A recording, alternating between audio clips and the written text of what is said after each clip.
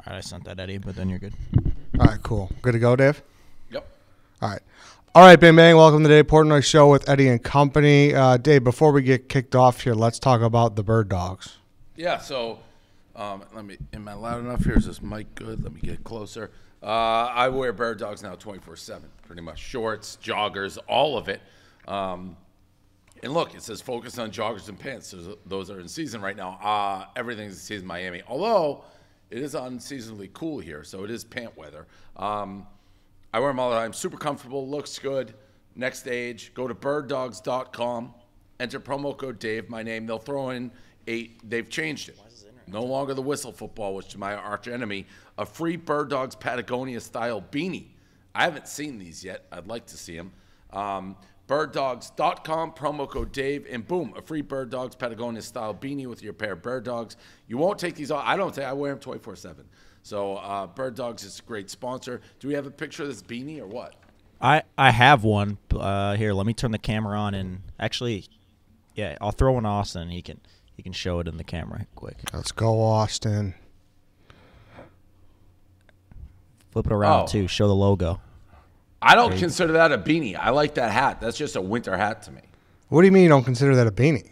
A beanie I, does not, to me, have like a pom a pom pom on it. Eh, That's just a win- a beanie is like uh like a hipster, like Ah, like the cornucopia that hangs off your head? uh, maybe a little bit, or just like I don't know. A beanie is like a girl wearing like a little beanie. It's like a tight little hat. It doesn't have the pom pom. To me, at least, it doesn't. I like that hat though. It's just Yeah, it's not nice. to me. That's not beanie, but I do like it. I hate the cornucopia. You like that look?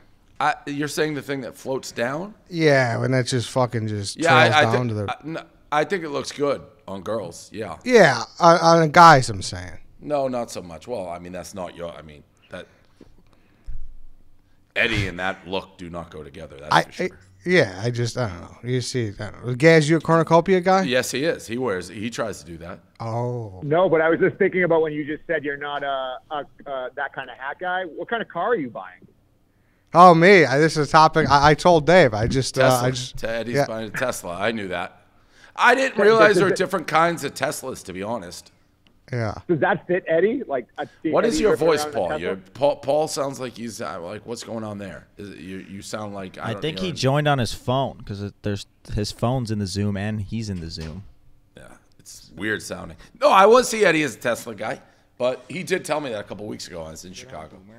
Yeah, I, I just uh, I, I looked at a couple, and then like I said, like I couldn't get over how much value like a lot of them lose, and I know the Tesla's going to lose value too, but it's it seems to hold it more. So that was We that had a was long deciding factor. discussion about cross country trips and like how that would work out. Yeah, it's going to be tough. That's going to be tough. So we'll see how it goes. But no, I, I don't think anyone saw it coming. I, I didn't see it. I mean, I just hopped in one. It's pretty fucking nice. So You that is like a step away from the cornucopia, which I've never heard of. I just call it like a hipster beanie. But that Tesla driving cornucopia wearing no, that's not true. could be. You think? th- no, I if I wear a cornucopia hat, I, I, I fire me. Well, Um, I mean, I think a year ago, if someone said you're going to buy a Tesla, same True, deal. true. But I, like I said, everyone like thinks they're like crazy expensive. Elon was smart. He made some for like the common guy. So there's a. I did think they were crazy expensive. That was my first thing. It's like, oh, we're paying you too much. No, it's a common misconception. Um, but anyways, a couple guests coming on later. We got Greg Olsen joining us. We're gonna talk some football. Uh, Alex Bennett's joining us. You got some things for her. Credit to me for getting the guest. Well, I called you Friday. You denied my call, so I, it's hard to book guests with you Are if you, you don't answer my calls. Are you coming Saturday? Yeah, You are. Were you going to tell Yeah. me that? yeah. I was gonna tell you after. I didn't know. if- Okay. All right. All right. Yeah, Good yeah. to know. Thank- Yeah, Thanks, I'm gonna come. Tell me. yeah, no problem. What's uh? So, People so- seem to think we just have an unlimited guest list. I do not. So like Paul before is like, how many people? It's like I didn't know John Kelly's coming. I didn't like. I so I got to figure all this out. what are we going to for the people so they can know? Going to Pegasus Saturday. Mm-hmm. We got a sweet um, Mattress Mack, who I've never met. We're gonna have him on the podcast. That's why you're coming. Elio's coming down. Um, Jane Motion, who is a friend of mine. Her dad's a trainer. She's coming. She's friends with Silvana. So we got a pretty decent sized crew. It'll be fun. But I don't yeah, have I'm unlimited excited. tickets. People think you got unlimited tickets, huh? No, the suite holds 12. and we're probably at like too many. But it's one of those things I think you know, someone can get a normal ticket and then just waltz into the suite after. Okay, that's nice. It's a nice venue, huh? You you go to Pegasus every year with him, no? Every year with Elio, yes, yeah, we have a great setup. We're gonna be like right on the finish line, a private suite TV. It'll be great. Excited. Awesome. Yeah, me too. I, I mean, also like you're just uh, you're becoming a Miami event guy. You went to the fucking uh, or was that game at Florida State? Was that in Tallahassee? No, that was that was in Miami. Oh, okay. How was that? Tallahassee's like seven hours from here. yeah, it's far. Panhandle. Uh, it was fun. I haven't been to a college basketball game in forever. I've talked about it. I've been fully like embraced, and I guess talked a little bit about Greg into like Miami culture, uh, and it's all through Danny Boy Kane. But there there is a degree of disconnect where people like from Miami don't seem to get that I'm through Danny Boy Kane. So I told, I said I met Mario Cristobal, and you know I was introduced as this is Dave Portnoy. He's he's going to be a huge factor for the program. I'm like, what? this was at the stadium. Yeah, at the game. Yeah, Cristobal was there. Uh, So it was a great to- game. They they lost. They were down 28. They lost by one. They missed a shot at the buzzer to win. and who told you? Who told him that? Who was the introducing person? It was like I'm with these Ruiz guys who are That's right. the the life wallet and doing NIL deals, and there was another guy who's part. There's I'm just part of the program now. What did um? How did that go? Because Danny Danny Boy Kane, he had you over the barrel. He's setting up these meetings, and he had I, a good whatever? Danny Boy King tells me to do, I do. Period. That's all it is. So it went well with the Ruizes. You like them? Yeah, I I only met briefly, uh, but the game was fun. It was a good game. Again, yeah, it, it, it you can tell my age. Like I've gone to some NBA games. Th- It really they are young looking. It's like you know the college when you're right there. It's like oh these are like just kids playing this game. It struck. I, I love the um. I love the kid who was talking shit to you the whole time. Yeah, he's good. He's funny. Who is what? He's just like some his dad. I don't know where he came from. And obviously, Silvana went to Florida State, Yeah. and she takes that shit. I don't. I don't even know how to describe it. She takes it very seriously. Mm-hmm. But she didn't even know they were playing till I'm like, "Do you want to go to the game?" But once she was aware they were playing, it was like life or death. Like she was mad at me during the game for rooting for Miami because she thought it was disrespectful. She had a good moment. She had the uh the That down was a good year. moment for her. Yeah. yeah. I don't know if she even realized the gravity of the moment. Like, she definitely doesn't really know how big of a deal Mario Cristobal. Like, she doesn't know that. But to mm-hmm. to give him the the you down and be caught on TV, that was a good moment for her. That was a good moment. Her shirt was awesome too. She she she. she They a nice told. I got a call that she couldn't wear the shirt before the game because she posted it, and like A Rod's friend who helped get the tickets, like she can't wear that. I'm like, well, I don't think we can go to the game then. Like, I'm not gonna tell her not to wear the shirt. It's like I'm wearing my Miami, she's wearing, and I get it because they do like. When I went to the game with Robert Kraft, you're not going to wear an opposing jersey. When I went to the game, the Eagles game, Eagles Patriots with Jim Cramer, he's like, you can't wear Patriots into the booth. I made a split shirt. So if you sit in seats that were given to you by the school or the team, it is frowned upon to wear the enemy, especially when the shirt is the Seminole guy choking the Sebastian, the Hurricane. So I get it, but there was no way that was flying. Yeah, yeah. I mean, but that's like the graphic one. Someone tweeted it, the guy sucking the duck's dick. It's not like That was all over the top. Yeah, that was that was a little much, I would say. Um, what what are you gonna? I mean, it's tough for you though. You got some people buttering you up. Leonard Hamilton offering some corn pudding. That's I, I, mean, saw that's that. Yeah, I don't know if that was him or what. I like. He, I didn't see him at all at the game. Um, but yeah, I mean, listen, I'm in Miami. I've always liked the Hurricanes. Let's just clarify that. Like people know when I started the Pick'em podcast. Oh no, the Barstool Power Hour. When it was me and then Leo and McShay, our our song that I put in to start it was "It's All About the You." So I do like Miami. Boston is not a college sports town. You don't grow up with college sports. I grew up, Miami was awesome. So I did like Miami. But make no mistake, if Michigan plays Miami, I'm rooting for Michigan to kill them. That's just a fact. It's almost like the Bills Patriots thing to a lesser level because I'm far more of a Patriot fan than I am Michigan. But yeah, and I think it's more acceptable too. Like I, I mean, Buffalo's so damn lovable, but at the same time, they're in your division. I don't, I don't know if you get uh, enough shit for that. No, I here's the thing, Eddie. And you know nothing about this. we've been so good for so long that it I don't really view them as a rival. Like obviously they're better than us right now, and this could change if we. But there there hasn't been a, and even the way we lost to them this year, it's like okay, we weren't even in the same fucking stratosphere as this team. So I just don't have any animosity. How can we? If you play a team hundred times and you beat them hundred times in a row, and you have six Super Bowls, I, I just I don't have any hate in my heart for them. How can I have hate in my heart? for maybe the Jets because of Mangini and Belichick being there, but they're so bad. How can you have hate in your heart for any of these teams? So once they win, you're going to be like, I'm tired of Buffalo.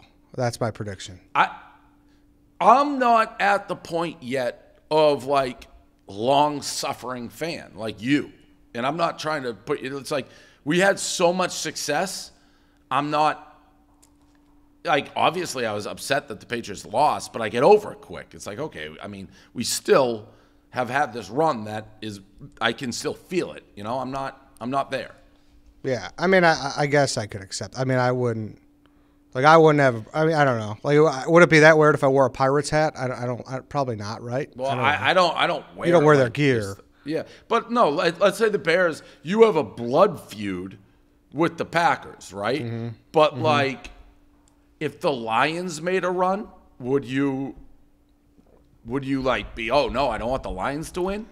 No, I guess that's a good comparison because there is there is a lovable aspect of the Lions fans too about how they're like somehow we're miserable as fuck and they're like even more miserable than Yeah, we are. like I, I've never guess considered like Buffalo a prime rival of us. Like even when they were good with the K gun and Jim Kelly, we were awful. We were like 0 and 16. So we've just never been good at the same time, except now.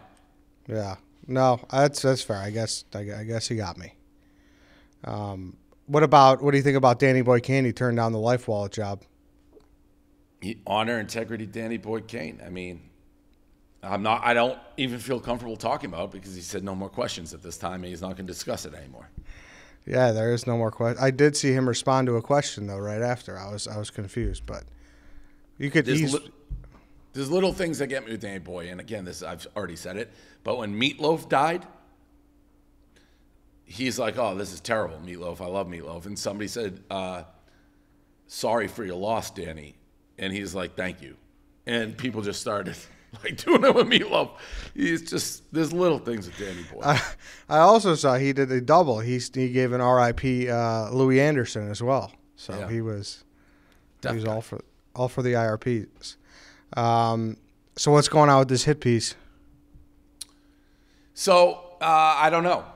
I I got the same thing I got before, and I I knew they were working on another one. I was hoping maybe they just would never get enough evidence, but Julia Black has it pinned to her Twitter profile. So uh, and then out of the blue, it's like a gut punch. It's like, hey, here's a million accusations. We're getting ready to publish it um, in basically like 24 hours. I was a more prepared. So the initial shock hits you, and it's like, who are these girls? What are they talking about? And luckily, I was able to figure out who both of they were. Like one of them said she had a mini schnauzer. It's like that's how she got my attention when she DM'd me. It's like, who the fuck is a mini schnauzer? I literally went through just my list, everyone on my phone, Snapchat. I'm like, no, no, no. And I saw her. I'm like, this girl has a mini schnauzer. And I was able to go back, and thankfully, I had some DMs. The other girl I knew for a while, and uh, I had all the receipts, just like last time. So we sent it, and now I don't know what they're. They were getting ready to drop this thing Thursday at 12. It is now, as we're doing this, uh, Tuesday at what 11:30. I don't know what they're. Gonna, they basically, our lawyer is like sent the thing. He's like, please confirm you're not going to publish this. We didn't hear back for a couple days, and they wrote back. I think Saturday or Sunday, like we won't confirm that. Our policy is we will work on the story till it's done. So essentially, they're just going to keep throwing as much mud against the wall and hope eventually they make it vague enough. They find somebody I don't have DMs for. They just want to publish it. It has nothing to do with integrity, honor. Like one of my lawyers is not like in this field. He's new to it, and he's just a lawyer on like defamation and what can. And he looked at what I sent him. He's like, "There's no way they're going to publish this ever. Like you have so much evidence that what they're saying is not true. It's like they'll never do it. The other lawyer who is more familiar is like, no, they're going to do it. They don't care. Like this is just they they are trying to get clicks, revenue, and they hate me. So I'm sure it's gonna be published at some point uh, in some version of it, and we'll go through the same shit we went through last time. Um, so are you anticipating? I mean, it's not going to be. It's not going to be as big, right? I mean, it's. I don't know. Like, so I don't know. I mean, obviously, they tried to defame me and make me sound like the worst human ever. It's crazy because there's no even accusation. Like, one of the girls, it's basically like just five years after the fact, she's looking back. She's like, yeah, it's like, I, it's nuts. Um, I have no idea. The, I'm sure the people who don't like me, the Minka kinds of the world, will be like, great reporting. And the people who believe me and act, actually listen the truth will be like, this is garbage. And the people in the middle who evaluate it for what it is will side with me. As I said last time, there is nobody in the world who will look at the evidence with an open mind and be like, Julia Black was right. Nobody, because it's the the evidence is overwhelmingly in my favor. What was the uh, the tweet about the king hater? What was that about? What you had What? a new find a new finding that the mother is a king hater or the daughter is or something like. Or there was something you tweeted that you found out A that king someone was a king hater. No, I think you just misspelled it. He meant like a long-time hater of Barstool, Oh, but he, okay. he misspelled it King, like Ah, autocorrect okay. or something. Alright. It was the the sibling. the or- book. Yeah, the book. The book No. that I've written. That is that what he's talking about? I think he's talking about the family tweet about how somebody, the, the one I'll pull it up. Oh, oh, oh! One of the girls, her sister fucking hates me and hates Barstool. And Kareem actually found it's like probably like thirty to forty over the last couple years of just hating Barstool, hating. So it probably sucks for her that I fucked her sister a lot. Yeah, I would say. I would say. Um, so why did her sister come out? Like she doesn't like I have you no idea. I have no idea, Eddie. Eddie, this girl, I knew this girl for three years. Like Oh, wow. we never dated, but we'd hang out. I don't know every six months, a year. Like we hung out enough where she actually had a mole. Her this girl, one of her friends, tipped me off and was like, "Just so you know, th- this girl is trashing you. And I'm like, no, it's not her. It's like she'd never do that. I, I'm I've known her for a long time. We're on good terms. I reached out to the girl. This girl previously had reached out to me to be like, I'm sorry of all the shit you're going through. Like reporters reached out to me. I'm not talking to them. It's bullshit. She flipped. Wow. It's crazy. The whole thing's fucking crazy. And I know. Now, I don't like saying this. Do you ever look at the Barstool Reddit page? Yeah, I mean, I you know, there's there's certainly good topics on there for the show. So I'll look at it. I look at it time to time. The people who are, and the, those people, they're they're the worst. They don't like me. They're fucking losers. And you always got to run how how old. Like all they do is trash Barstool while they're on a Barstool Reddit page. It's bananas. But there's people who seem to think we shouldn't talk about. Like they're so delusional. They're like nobody cares about this. If nobody would know about it if Dave didn't talk about it. And what planet are you talking about? Like honestly, what planet?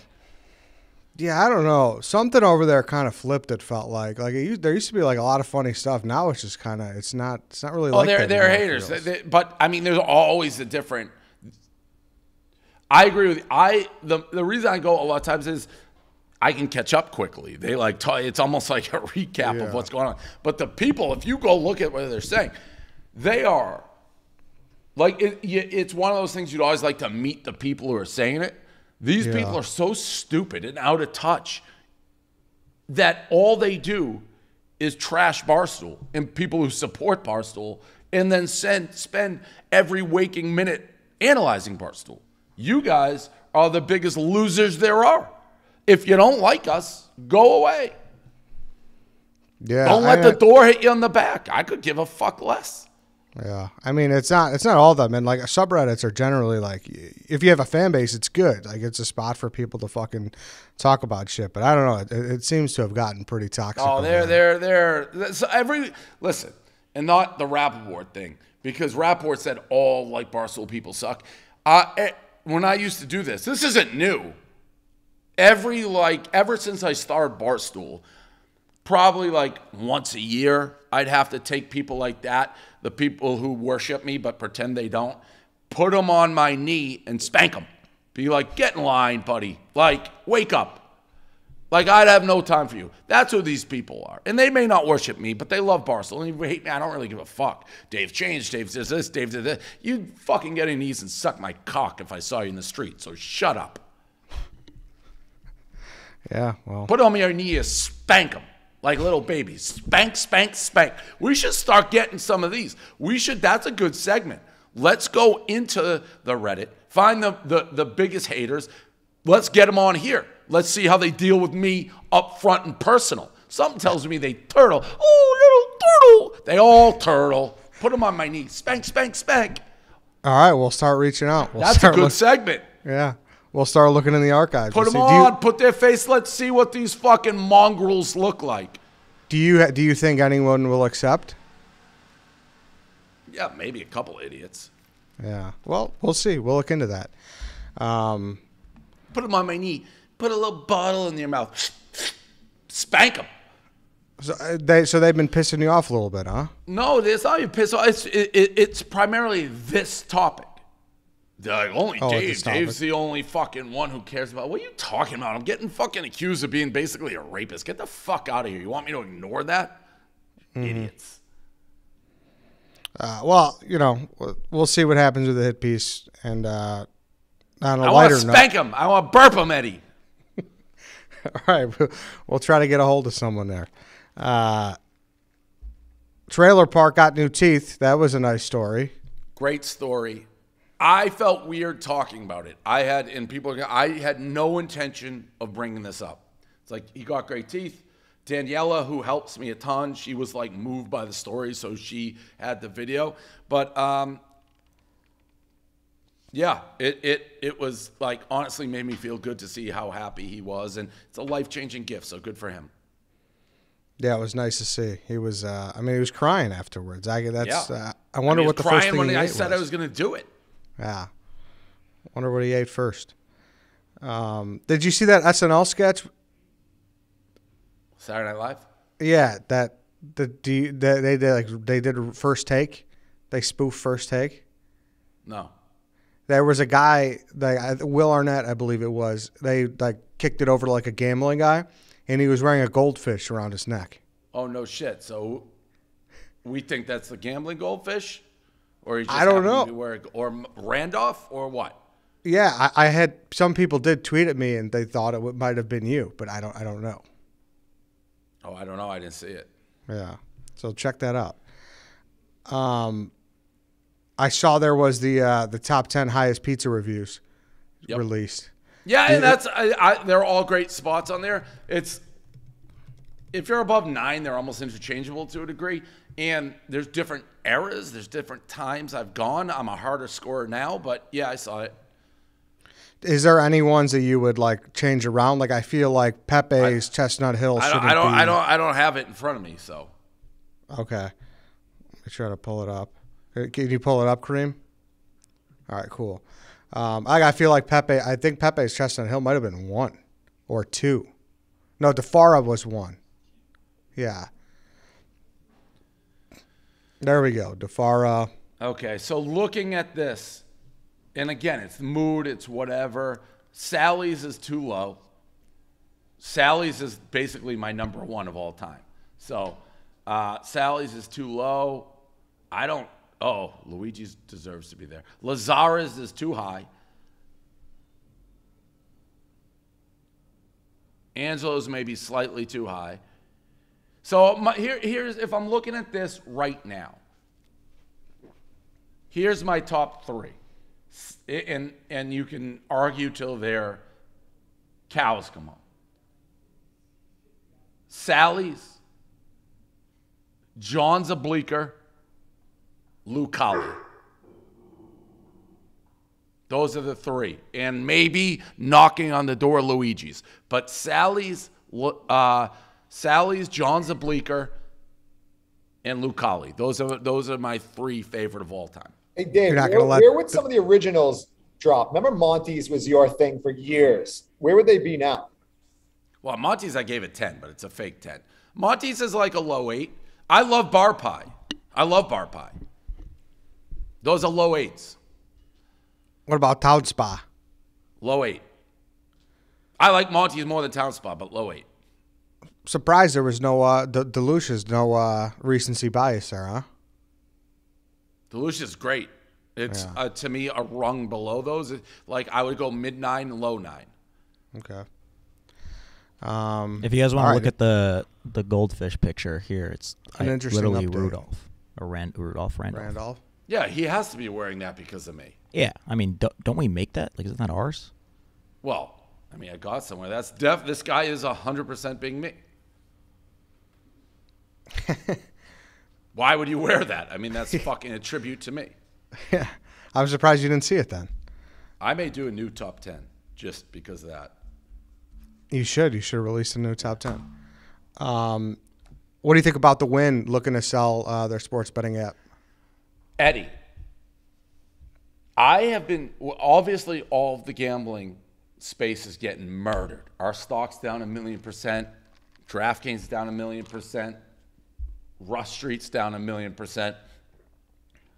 What I have said has not changed at all from day one. We got caught up when everything went high. We're getting caught up with them going low. We are in a different business model. They are burning hundreds of millions of dollars advertising, promos, customer acquisition. We have never played that game. We are a solvent, make money business. Penn has the casino business, makes money. The sports gambling business, we're not losing. We're making now. We're making, okay? So once Wall Street wakes the fuck up, they're to see we our model is the right one. That's good. Wynn getting out, good. This is what we're saying is going to happen. It's to consolidate. People are to go away, and we are going to sit here with all our ammo that we have not spent yet while these other companies are bleeding, and we are going to be in a spectacular position. Listen, I obviously root for Penn. I have stock in Penn. I want a yacht party, but the other companies keep saying we're going to make all this shit. They keep posting the oh, we'll make money in 2023, 2025. two th- We're saying the same thing from day one. Our message has not changed. Not sustainable what they're doing, sustainable what we're doing, and the facts are bearing it out. If you are a Penn sh- shareholder and nobody, listen, I, my, I'm overdraft on my account like every two days because Penn keeps dipping and everything is tied into that. I don't even know how it works. So nobody cares about Penn stock more than me, but you gotta believe, you gotta believe. That's all I'll say about that. And that's a good sign. Wynn is saying what I said. I have a million rants saying this is not sustainable, this will not work. That's the first domino in Wall Street for a while was ignoring the signs and just stocks go up. You never have to stop spending if the stock goes up because your company's going up. You can use the stock as leverage, collateral. Well, Wall Street has said enough. Make money. Stop burning money. And these companies now are dying. So good for us. Good for us. This is good for us. So you said more ammo. You're saying there's other there's other moves to be made here for Penn. You got we other haven't tricks up your spent sleeve. yet. We bought the score, and that's it. Like the amount of money that is still being spent to acquire customers, ads, all that, promos, all that. It's not sustainable. We haven't played that game. Our promos, we give you a sweatshirt. It's a different game. So, but if we get into that game, then aren't we just doing their model or? No, because it's one thing to do that game when there's, let's say, 10 people playing that game. When there's now only a handful and they're out of money, the cost of advertising, everything goes way down. So if you had to spend 100 million on advertisers to get any impact, now you may only have to spend 100,000 to get the impact because the competition has disappeared. All right, I got a few more questions, but I think Greg's going to be here on in a second, so we'll we'll come back to this after Greg. Um, before we get to Greg, though, uh, what do you say, Kareem? Okay, cool. You want to do one eight hundred flowers real quick, Dave? Let's do 1 800 Flowers. Let's go. Valent- What do you Can you say? do Yeah. I was, Uh, well, uh, This Valentine's Day, it pla pays to plan ahead with 1-800-Flowers.com. First dibs on great deals to the best selection of Valentine's Day's roses, guaranteed delivery. Don't wait.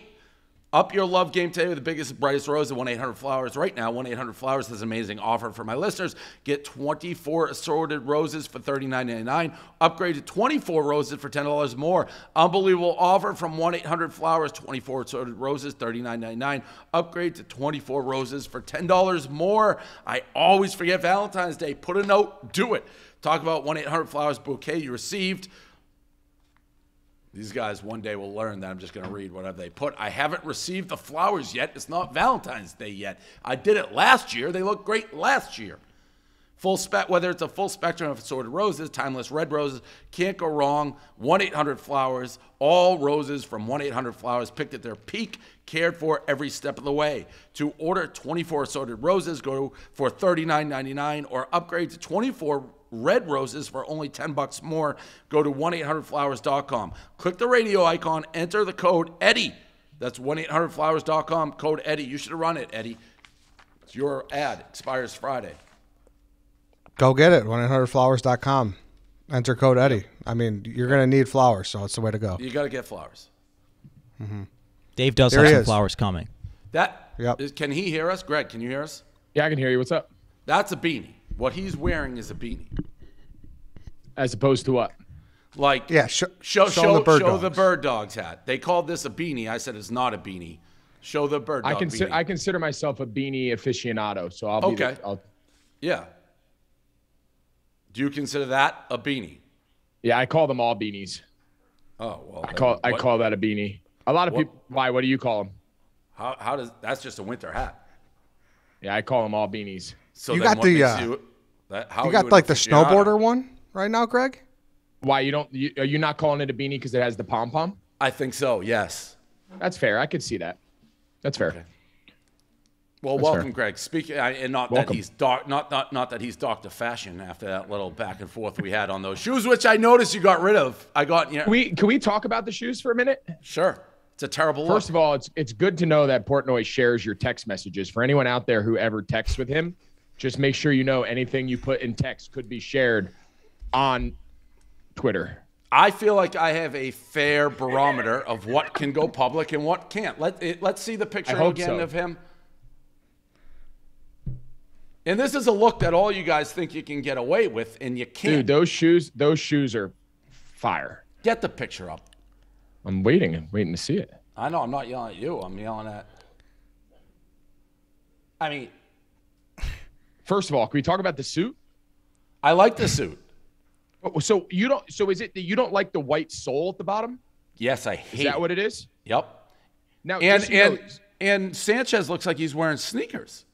yeah. So my, so I know a lot of guys wear like sneakers and they got the white soles, right? That those are dress shoes, like they are laced up leather, like true dress shoes that just happen to have a white sole oh, bottom. Oh, All right, that's a, that the white I don't like, and me I thought it was sneakers because Sanchez. No. I, I I hate the sneakers, and my guy Bob Kraft does it all the time. Maybe if you're older and bad feet, I hate the sneakers with the nice suit. It ruins the nice suit.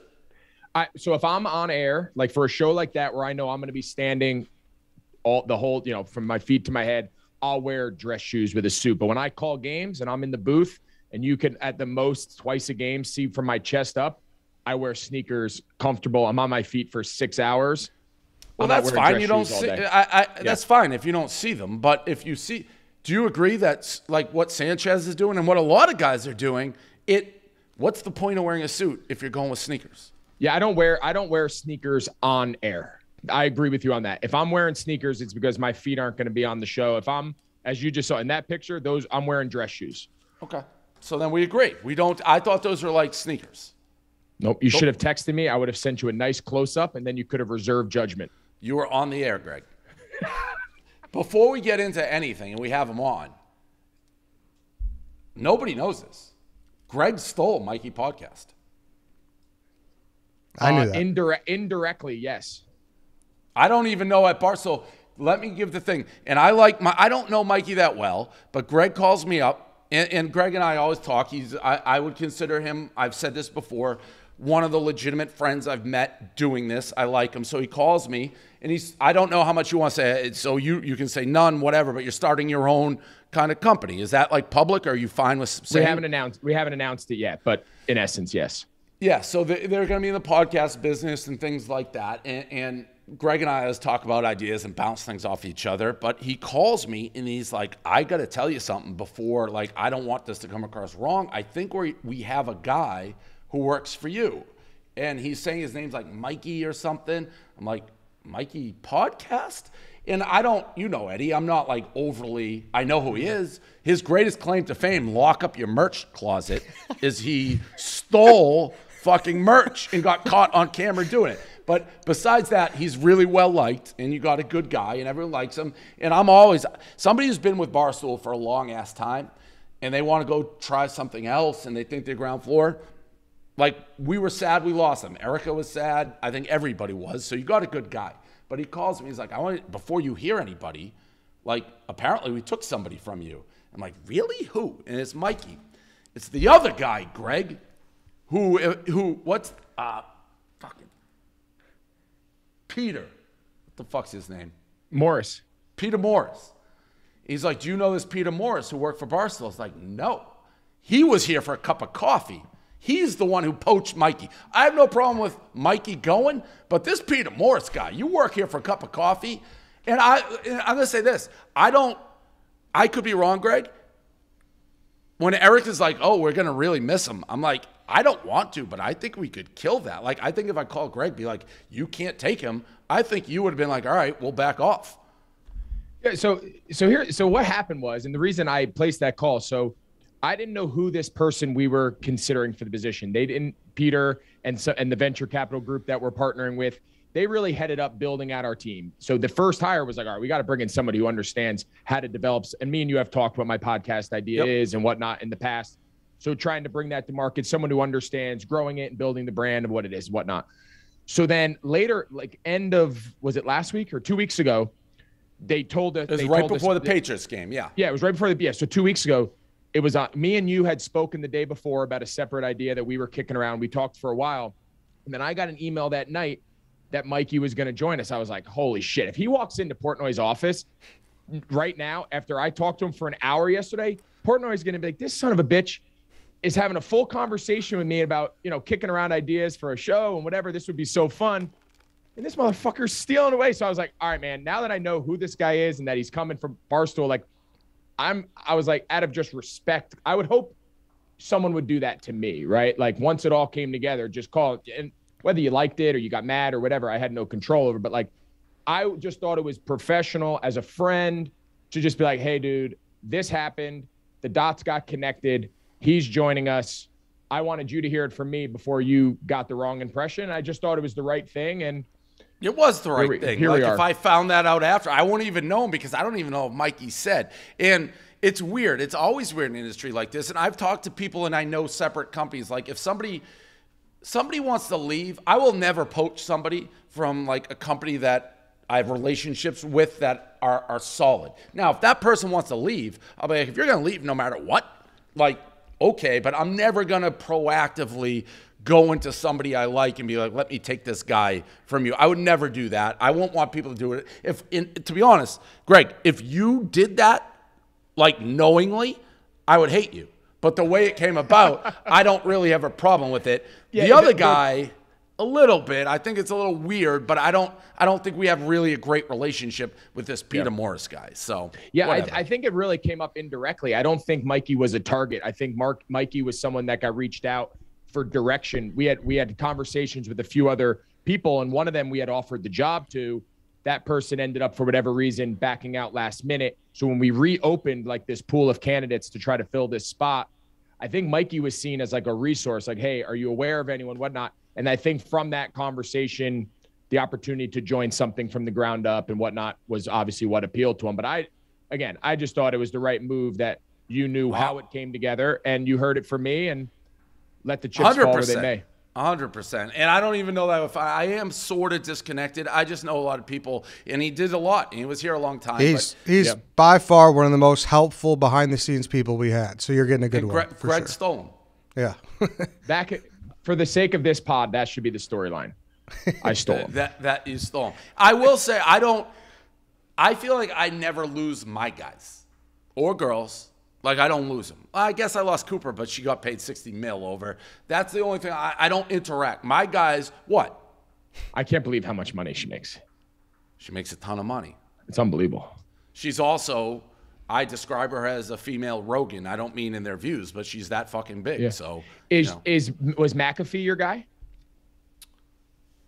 yes, but McAfee wasn't a full time employee. Like McAfee, Right. one of the things I'll say about McAfee, and, and people always think I'm super sour on McAfee because he left is huge. I'm not. Like McAfee came to us already with like over a million followers on social media. He was huge in Indianapolis. As McAfee has said, as Pat, we're the only ones that saw, and we've always been good. Like, oh, this guy's fucking super talented. But McAfee wanted to do a million things. It was never going to work. I don't think. Well, it may be if we just decide we're not going to try to make a penny on McAfee. Like, but McAfee always had what it took. Now he went. The only thing, there's a couple things I screwed up with McAfee.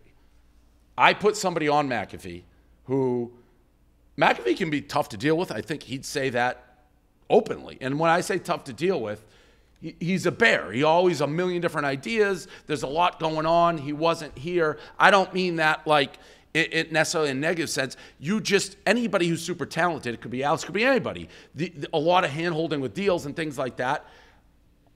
I didn't trust our sales because they got a lot going on.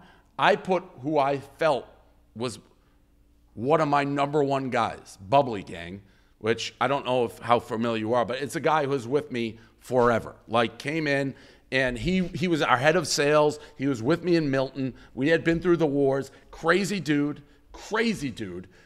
But I was like, he's yours. He's yours. You deal with him that was a mistake in hindsight. I ended up having a major problem with Bubbly Gang. Bubbly Gang, I think, kind of poisoned McAfee and ended up going with McAfee. They both left. I haven't, when I say Bubbly Gang was one of my close friends, I haven't talked to him in, since this happened. And what was this, Yeah. Eddie? How long ago was this? That was in 2018, fall of 2018. And not just because McAfee, it's just like I, I, I consider myself super loyal, and if so, it's very hard to get my inner circle. He was there, and then so that that McAfee thing, it was a bunch of different factors really. And but Yeah. he always, and the only thing I screwed up on my end with it, and I won't do this again. He went to Barstool School, is basically what he did. Like we created this office, we paid, we did it. He studied, and then he was able to take all the people that we had hired and go with him. And he's smart. There's nothing wrong with that. He's very smart. He's made the right decision. He's killing it. Um, but I won't do that. Even people always say try to take credit. Like his show. How do you think he met A.J. Hawk? How do you think that happened? Like me. Like almost everybody around them is Barstool people. Like Hawk was also brilliant, but I met him and we had them both on our uh, Barstool College Game Day show. So McAfee's brilliant, but McAfee was going to be wildly successful irregardless of us. He's that good of a talent. So um, I wouldn't. S- I Yeah. wouldn't say he's my guy. When I say my guys, I probably mean more. No, no big profile before they got to us. Like, um, you know, Biz isn't my guy. Like, guys it's different. It, it, there is a difference when you come to Barstool as a no name versus already an established personality. Everything's Yeah, like. Deion, right? Like Deion. He came here. He was Deion Sanders. Obviously, you guys work closely, your buddies, whatnot. His profile, I'm sure, has raised in certain demographics as a result of Barstool, but he was still Deion Sanders before Barstool. I get it. No, I think that's a fair, a totally fair assessment. Obviously, McAfee is super talented and the show's great. And I'm sure he benefited a lot from you guys, but in his own right, he's super good at what he does. and we benefited from McAfee. Like Yeah, he totally, brought a totally. crowd to us, and and people Totally. always think there's some. My thing, I'm a competitive person. We're in the gambling space. He works directly for a competitor, so we are competing on that. But what people, I, I think I've said this before. Prior to McAfee getting that deal with FanDuel, McAfee and I were talking about bringing him back into Barstool with Penn. And his idea, those McAfee's, he's like, if I come back, I want to do a daily show with you. Like we'll have like me and you do a show, it'll be gigantic. And then he got, as he put, a sweetheart deal from FanDuel that we didn't match and the market changed. So there isn't that.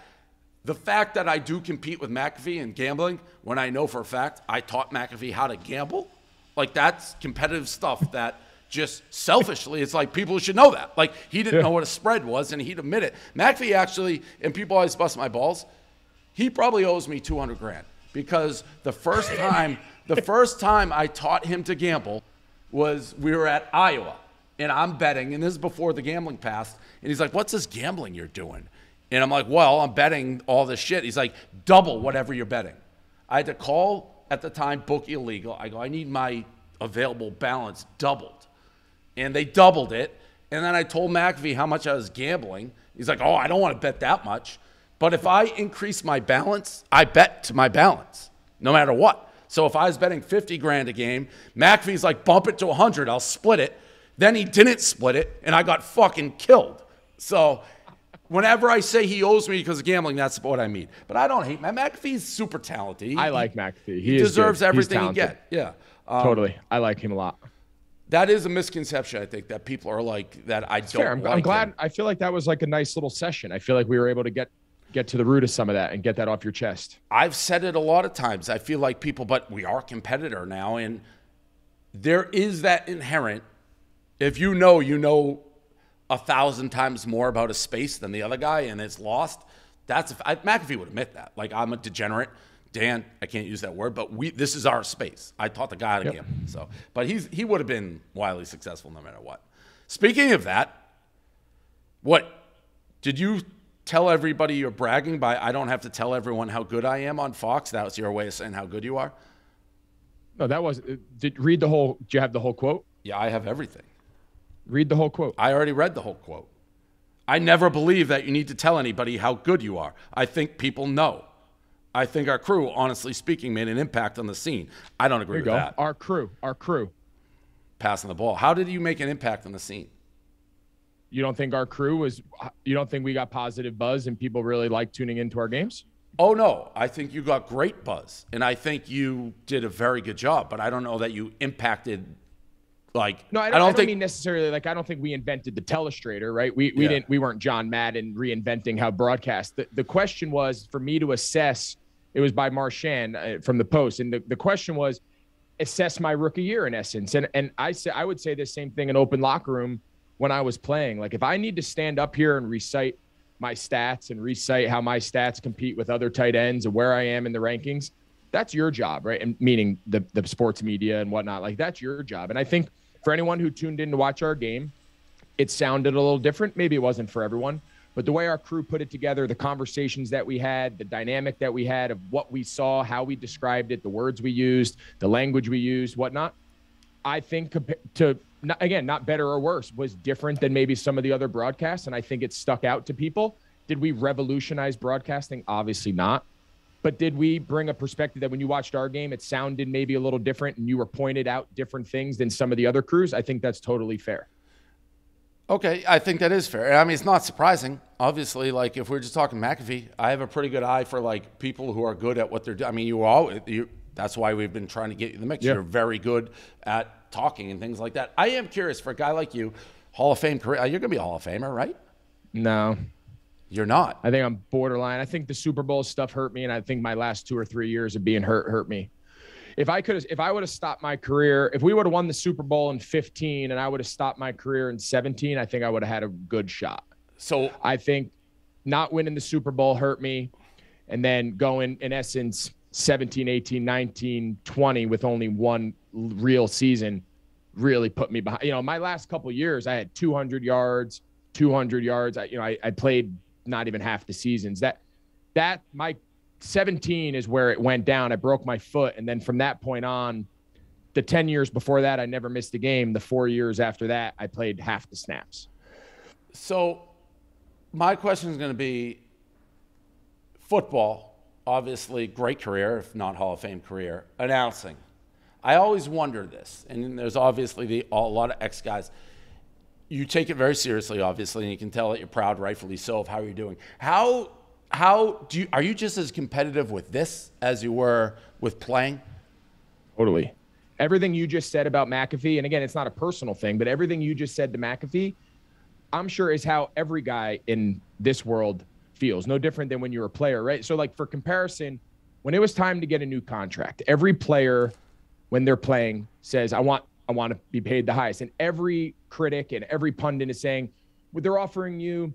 Seven. I actually got in trouble, I think, on on your show when I said I made the joke about tight ends do half. It was on. It was either your show or, or Big Cat, and I said, um, you know, tight ends do, ha- do do the work of a tackle and a wide receiver, and they pay us half. And like I was saying it in jest, and people are like, "Oh, seven million is not enough. Eight million is not enough." It has nothing to do with the money. It's that is the only benchmark in order to compete against your colleagues, right? So if you're a tight end or whatever it is, yes, is there a difference between making nine million and nine point seven million? Well, if the guy who's number one makes nine point five, then yes, right? It's not the extra six hundred grand so there must it, be though a point, and maybe it's only quarterback, like where you get so comfortable in your own skin though, because like you hear quarterbacks or other players, Brady has always been one who will take less so he can get more yep. like talent. I've never him. been. I've never been the highest paid guy. It, quarterback is different because they eat up so much of the cap, right? Yep. For Brady to take a pay cut affects the team. For me to be the number one tight end or the third tight end is like less than a million dollars in cap space. It's it's not moving the needle eh, when I was playing. Now with Kelce and these guys, they make a lot more. But back when I was playing a top three contract at tight end, the difference between those guys wasn't the difference between the top couple quarterbacks, right? So when Brady's taking a big number, it splits. I was never amongst the highest paid guys because that kind of stuff it mattered to me, but it never fueled me, right? It, it, to chase the extra million dollars a year was never why I did it. So I would sign contract extension, contact contract extension. I never hit free agency. I look back and think like what could have been, but the best contracts in the NFL are the ones you play every year of. And I was very fortunate that I never didn't collect on a year of my contracts. And that was there. I never made the most, but I always made it all. So mm-hmm. now back to the broadcast thing, like it, it's not, again, it's not the contracts, but when you look around to the other guys, like when I listen to games now, I listen to the color commentator. I see how he describes a play. I say, that's right. That was a good point. No, that's he's dead fucking wrong. That's not true. Like, so yeah, absolutely. You're competing against those guys because, like anybody who, who's competitive, they want to be the best. Who's the number one? Like, who do you think is the cream of the crop? Who do you want to be? Like, whose level do you like aspire to be on?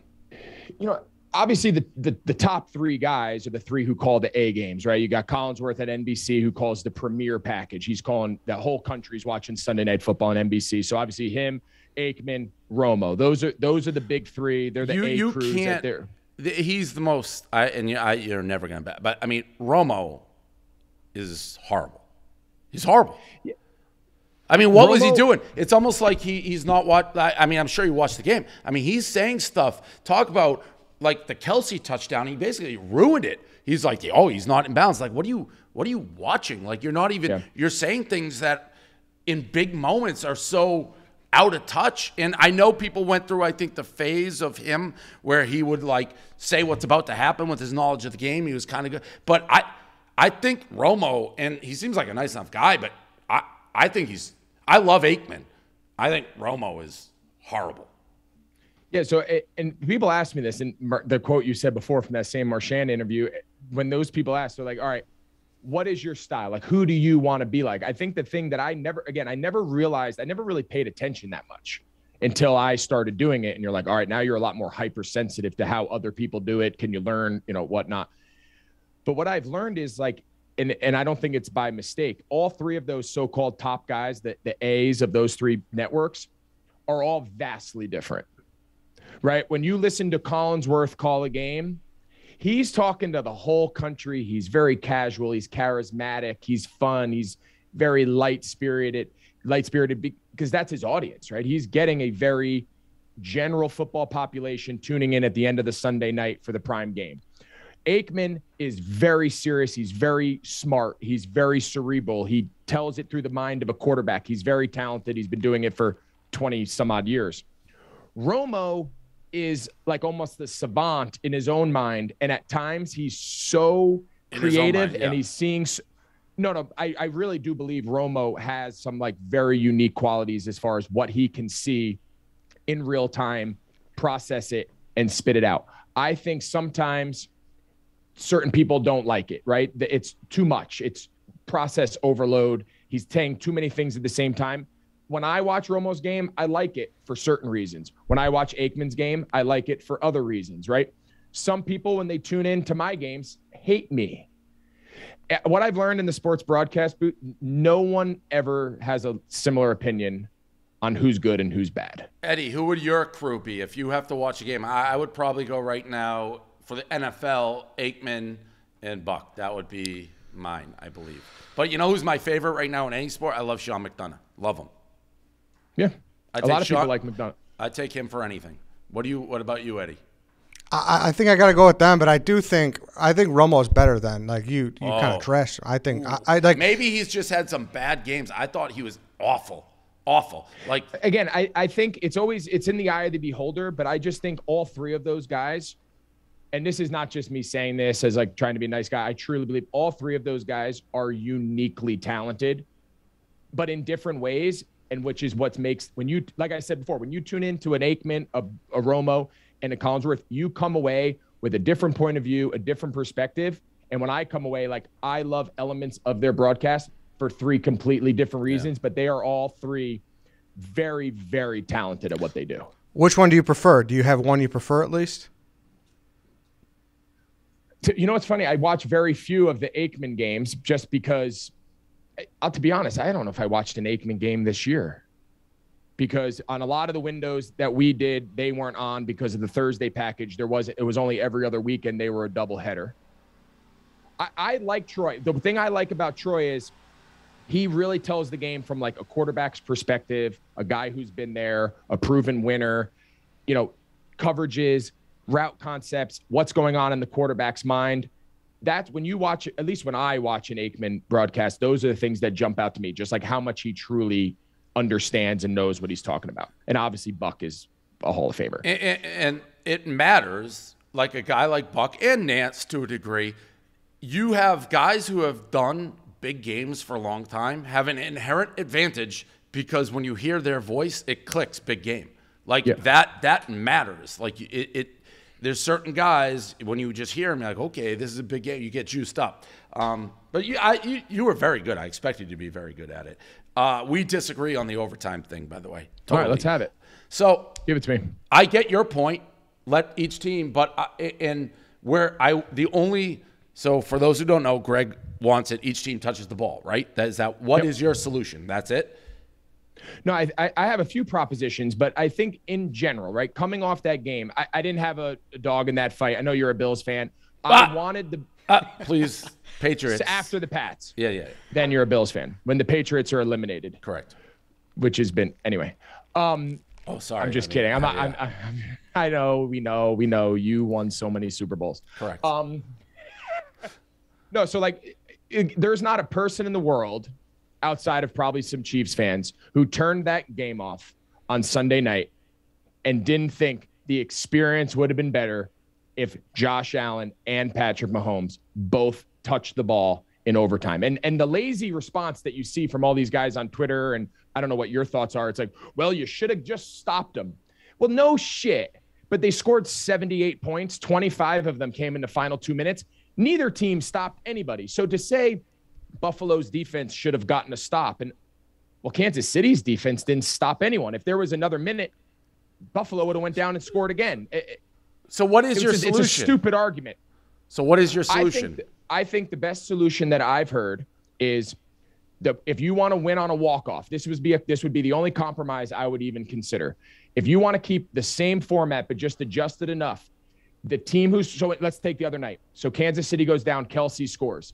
Kansas City has two op two chances. They can either kick an extra point, and then the other team gets the ball to go down to win, or they have to go for two.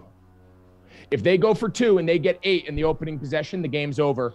So Buffalo that's the same. That, that to me, that's Nope. the same basic philosophy. It's, you're just adding a two point conversion, but Josh Allen still doesn't get to touch the ball. I said it's the only thing I would consider. In the perfect world, I think Josh Allen gets the ball and he gets to go down and determine how that game ends. In And- the and- perfect world, both those guys uh, should touch the ball. So if he scores, you just keep going. I think if you score, you keep going. You play the you play you play the quarter like it's the fifth quarter, So you play and you keep.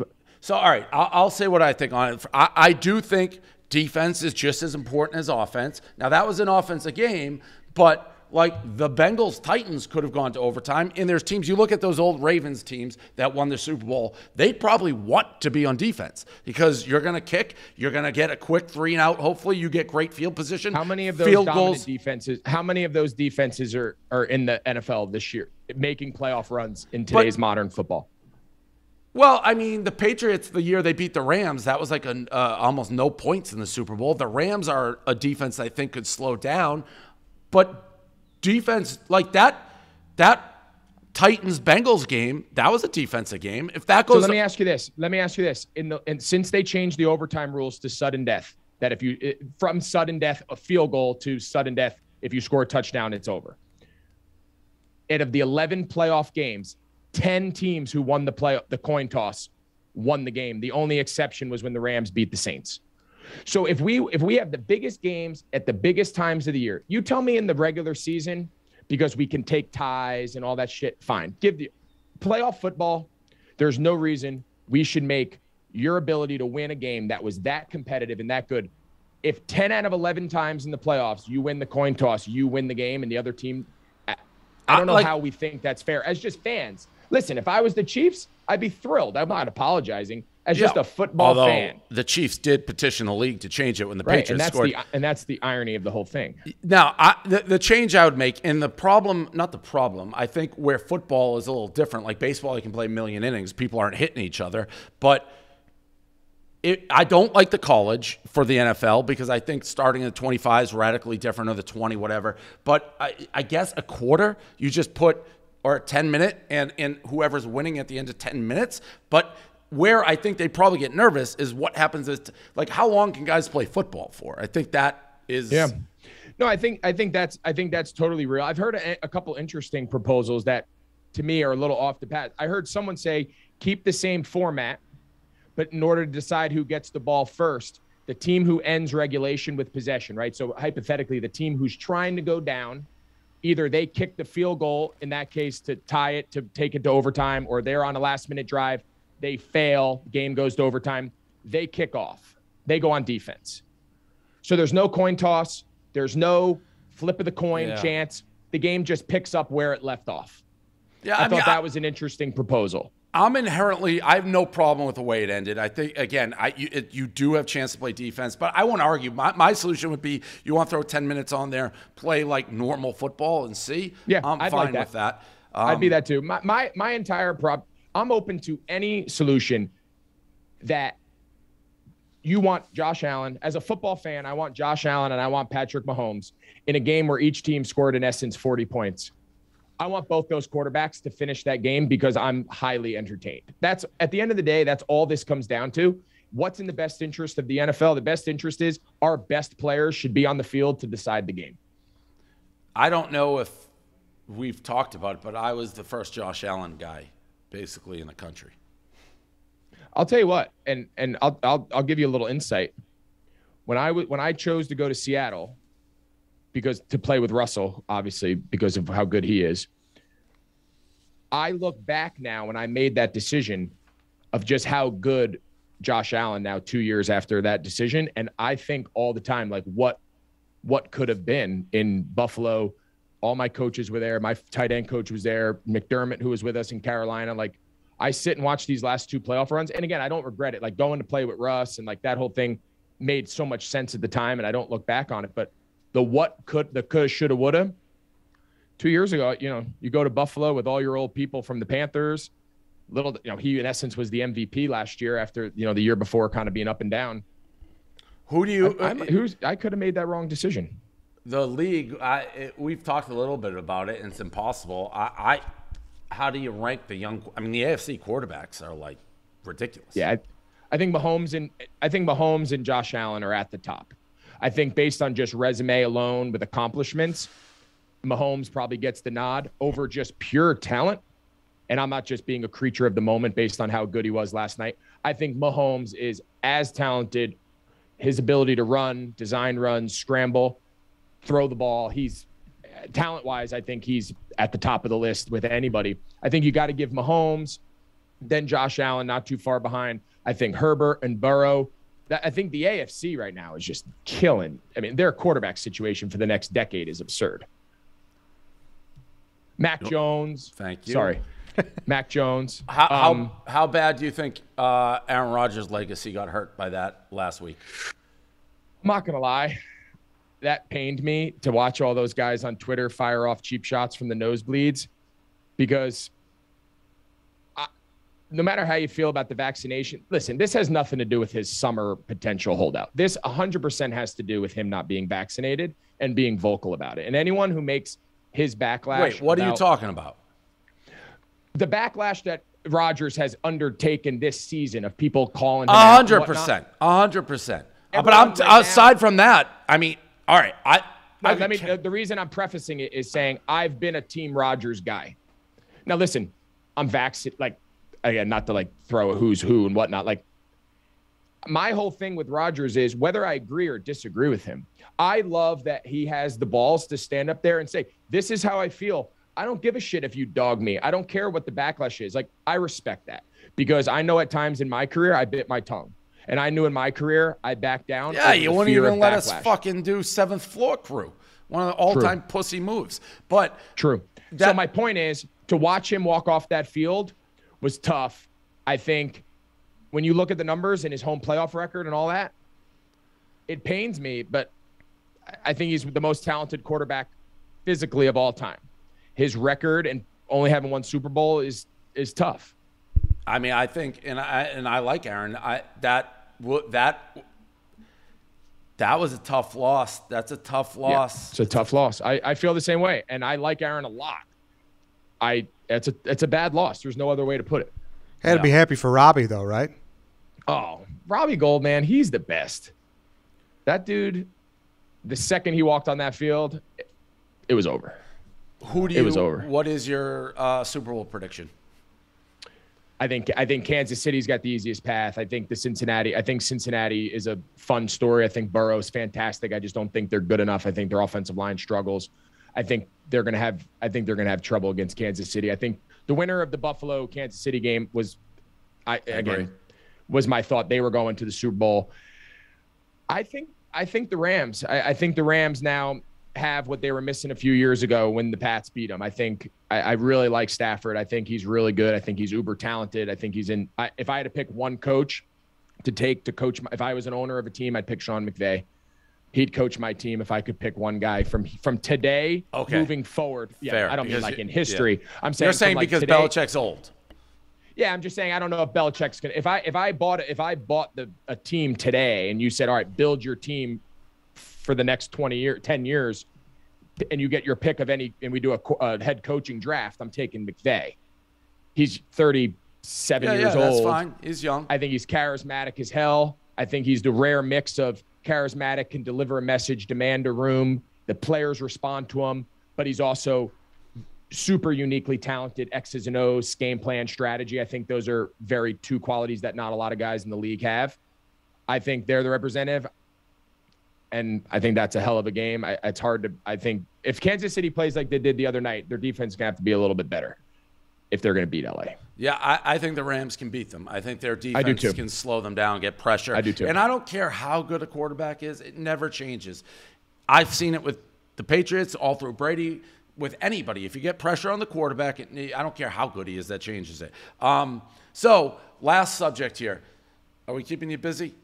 No, I mean, checking the phone. Just sending It's a quick- I'm just sending a text- fucking Mikey podcast and that rat Peter, whatever. I'm just trying to is. send a text message. I'm sorry. I, I got other things on, on my plate here. You know now I'm the kids home from school. I mean, I got a lot going on. I'll try to hurry up. You know I'm the face of the uh, Miami now. Hey, so let's talk about that. I I'm love that you're I'm at the, the- game. I'm the face Let's of relax on face. Let's relax. Do you want uh, you missed this Are you talking about the University of Miami or the City yes, of Miami? University of. Got it. Do you know I that? I love it, dude. I love it. So I went to the Miami Florida State I game know. the other day. Did you I see was- Cristobal? Did I see him? I was introduced to Cristobal. They introduced me as this. This is Dave Portnoy. He's going to do a ton for the program. I'm like, what? I didn't, I didn't even know what they're talking about. So this all started with Danny Boy Kane. Do you know Danny Boy Yeah, Kane? I, I So- know him. I know him on Twitter. Yeah. like and through us who we Yeah. followed i was not Yeah. attacked by we, he's been one of my favorite guys forever dan big cat and i he's our golden goose our moby dick we've been trying to hunt this guy for two decades to get him to do stuff with us he started doing these twitter spaces about miami and miami recruiting so dan and i jump in and do it Yeah. and he's got uh, do you know the ruiz family here in miami for I, I don't know them personally. I know who they are. Yeah. yeah, so they're in these Twitter spaces. They're doing all the NIL deals. So we're Yeah. talking with them. We're meeting with them. Next thing I know, I'm getting invited to this game. We're courtside. I somewhere lost in it is people like at the university, which I like. I'm in Miami. They they're taking it dead sit Like this, I, they haven't figured out it's through Danny Boy Kane, but I've become like a major player for the University of Miami now. I saw you in the student section. I saw Cristobal running around. yeah, That was amazing. It- the it- fact that you didn't you give me a heads up and be like, dude, come on down to the game and I'll show you around.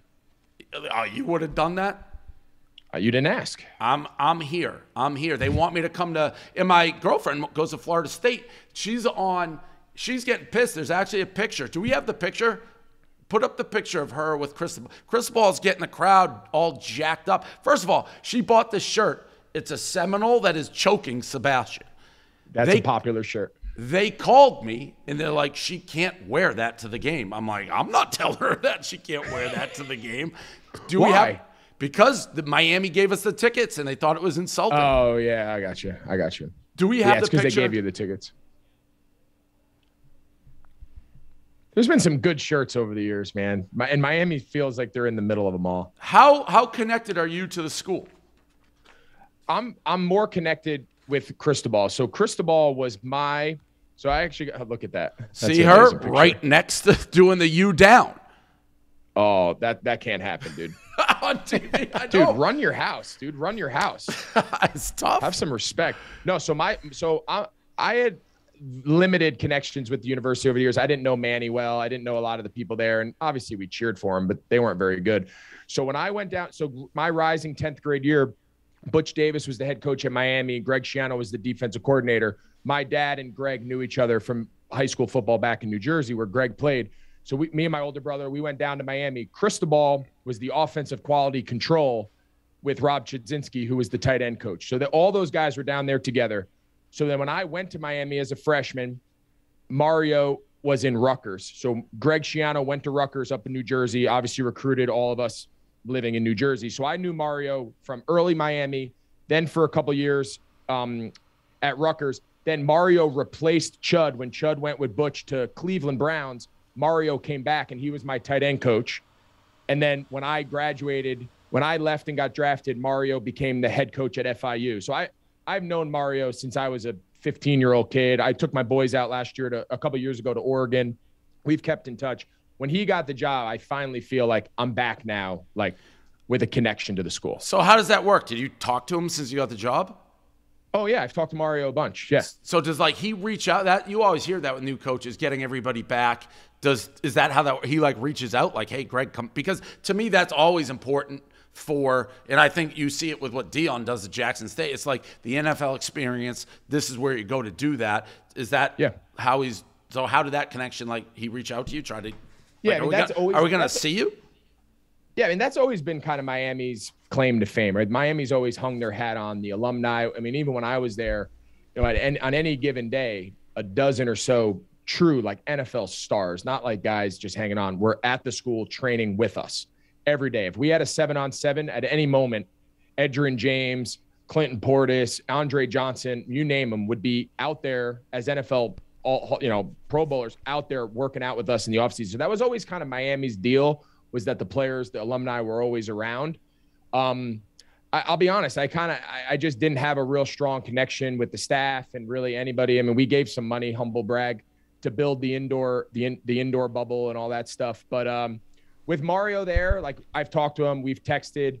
Um, you know, I, I, I'm going to be around a lot more. I'm going to go down and visit him in spring ball and spend some time down there. I, I'm a huge believer in Mario. I'm more of a people versus a places thing. Yep. Like when Mario was the coach at Oregon, I loved Mario, so I, I wanted Oregon to win. And I love Ryan Day. I've met him through some buddies. So when Ohio State plays, I want, you know, like I like people. The guy he was born on third base. The guy who's born on third base, exactly according to Bar Harbaugh, Yeah. who's so happy at Michigan he's hoping to leave. Well, he's just negotiating. He just loves money. his Michigan job. He's just trying to take the Raiders job. Well, that's a rumor. Uh, so then, if you're in Miami, I'll have to see. Yeah, it, it's. Oh, Uh, I'll send you a message. yeah, all right. I, I don't have anything else for you, Greg. Just don't steal any I more. feel of like our, we co- Yeah, I feel like we steal any more covered a of lot. guys. Just don't steal any more of our guys. Is there anybody uh, who just give me a list of the guys who are off limits and I'll make sure that's who I target. Yeah, all of them. All of them are off limits. You got, you got, you think you know a guy, and then you get, you get Hey, poached. blink, blink if you guys are being held hostage. Uh, all right. Thank you for coming on. Appreciate it, man. All right. You got to it, later. buddy. Bye. Thanks, Appreciate it, man. Greg Olsen. I love Greg. That was great. That was that was an awesome conversation. I thought. Um, so we're gonna do some inside barstool. I think Alex Bennett's gonna come in. Uh, let's talk about Masterworks before that happens, Dave. Masterworks. Shockingly enough, stocks aren't the only thing that goes up over time. To be debated, it is a bloodbath. Uh, turns out art can too. Well, we knew this. Listen to this. My last last May, a Picasso painting sold for 103 million. That's a 1400 percent increase from when it was auctioned in '97. I'm like fully now. Like I'm gonna end up whatever this is. I'm in. They already sold me. A 1400 percent increase from '97 to last May. So what if you can invest in paintings without spending millions? Good news is you can with Masterworks. The $1 billion tech company analyzes tons of data to find great paintings, makes them in, investable on their platform. It's genius. This is genius. I need this. All right. In fact, early investors got a net IRR of 30 plus percent in 2020 and in 2021 from the sale of two paintings. I love what this is brilliant. I love Masterworks is doing. You get priority access. Just log on to masterworks.com. Sla- wait, masterworks.art slash Dave masterworks.art slash dave to join over 300000 users that's masterworks.art slash dave see important disclosures at masterworks.io slash disclaimer You, Do you have never this heard of non dot? Yeah, you've What? never heard of non.com websites? no You type it in. Masterworks. masterworks.io slash disclaimer Yeah, it works. It works. Yeah. I gotta check this out IO is a is a domain. It's the real thing. Yeah, yeah, yeah. So you buy. Um, I, I I love this. This is really what NFTs are based on, except the original deal, real art. Hang them, Dude, I learned about those the other day. Those are crazy. Those NFTs. Yeah, Silvana. She doesn't she knows nothing about NFTs. She saw one she liked. I was gonna try to get it for. her. She's like, "What is this?" It was an NFT. I know nothing about it, and I tried to get it, and I couldn't.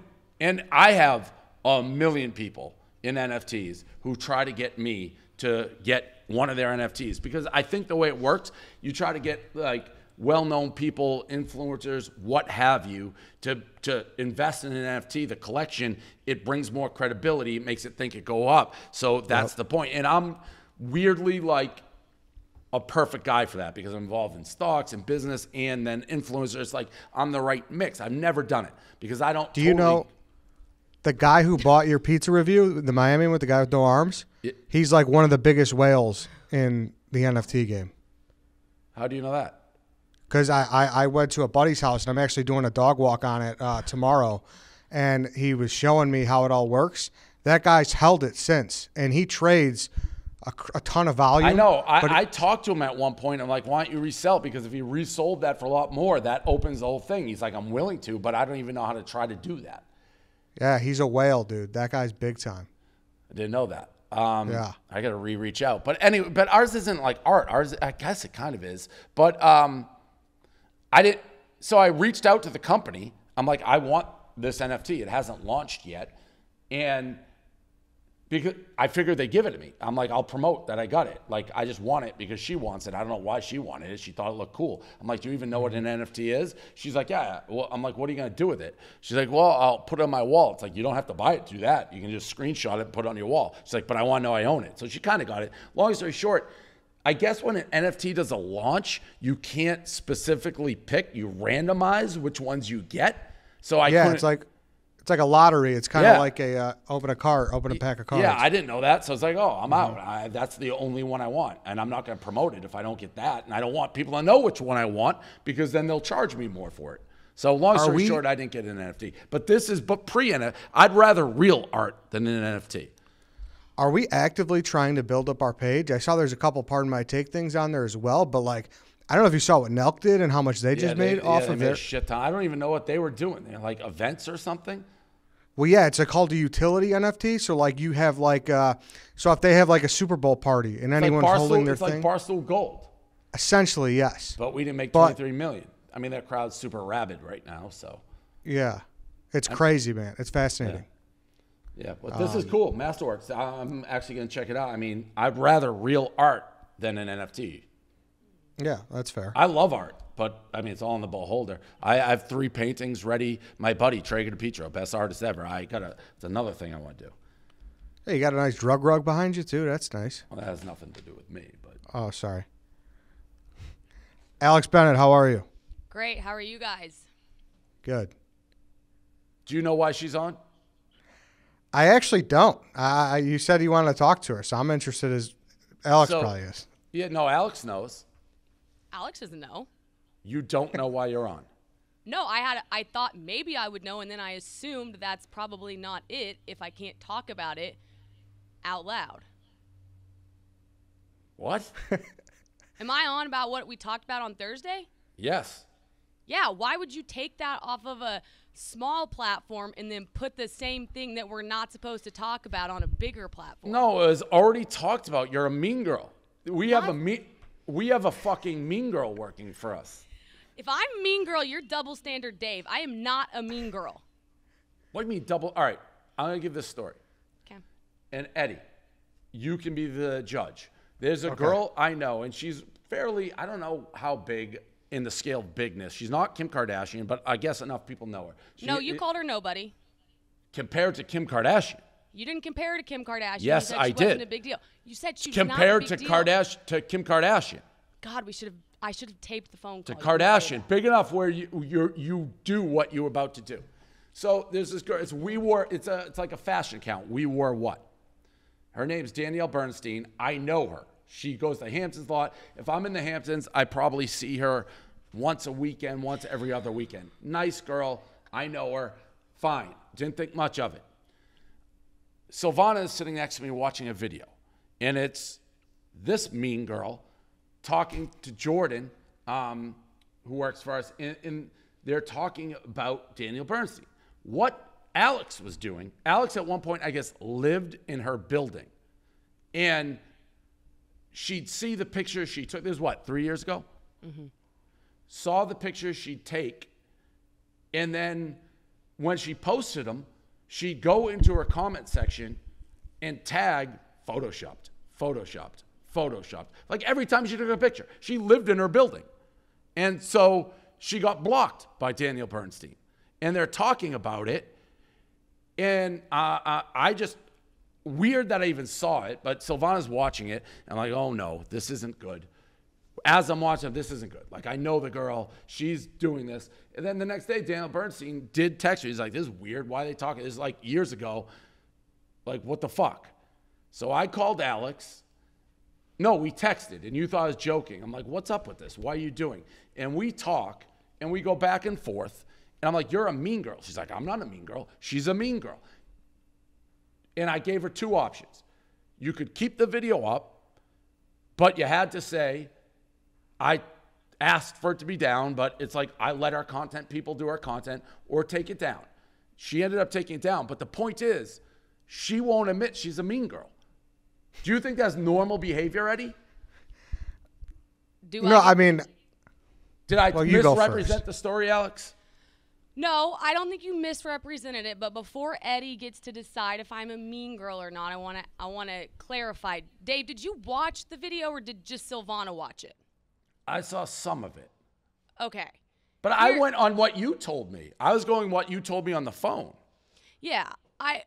All right, Eddie. I lived in this girl's building. I don't. So I don't know who this chick is, right? I don't know who a lot of people are, but my friends start texting me. You live in the same building as this influencer. who's under fire for Photoshop. S- They send me the photo. I'm like, oh, holy shit, I've seen her. Yeah, I know exactly who she is. I see her all the time in the lobby. So, so she'll post photos. I see her in the outfit, and then I see the photo of Instagram go up, and I'm like, oh yeah, yeah, this is photoshopped. Yep, she like she does Photoshop. Um, similarly, like Khloe Kardashian goes under fire for Photoshop. Am I ever going to comment? I told you we talked about this. Hold this is on. what you this is what you said on on the call. We didn't. Okay. So Khloe Kardashian also under fire for Photoshop. I'm not going to comment on Khloe's pictures, whether or not she's Photoshopped, because I don't see Khloe. Okay. So I don't know. I, I don't care if this chick was Beyonce in my building or Danielle Bernstein from We Wore What. All I know, yeah, she does Photoshop. True. So I'm commenting back to my friends and like, she does Photoshop. She blocks me. The second image, I'm not in there trolling her comments. Number two, I get blocked because I'm using the word Photoshop. Jordan Woodruff, she works here. She has a series called Blocked. She's like, yo, Alex, you ever been blocked? Jordan sure have. Danielle Bernstein for photoshopping. She's like, oh, okay. We talk about it? Sure, no problem. Those are all facts. So I go on there and I do that. Now, Eddie, additionally, imagine my surprise when Dave texts me and he's like, I know Danielle Bernstein, period. I'm like, uh, and? I'm sorry. For like a guy that's pretty big on loyalty, you felt randomly loyal to some chick you see sometime in the Hamptons, and you're telling me to remove a video where I'm talking about something that's true?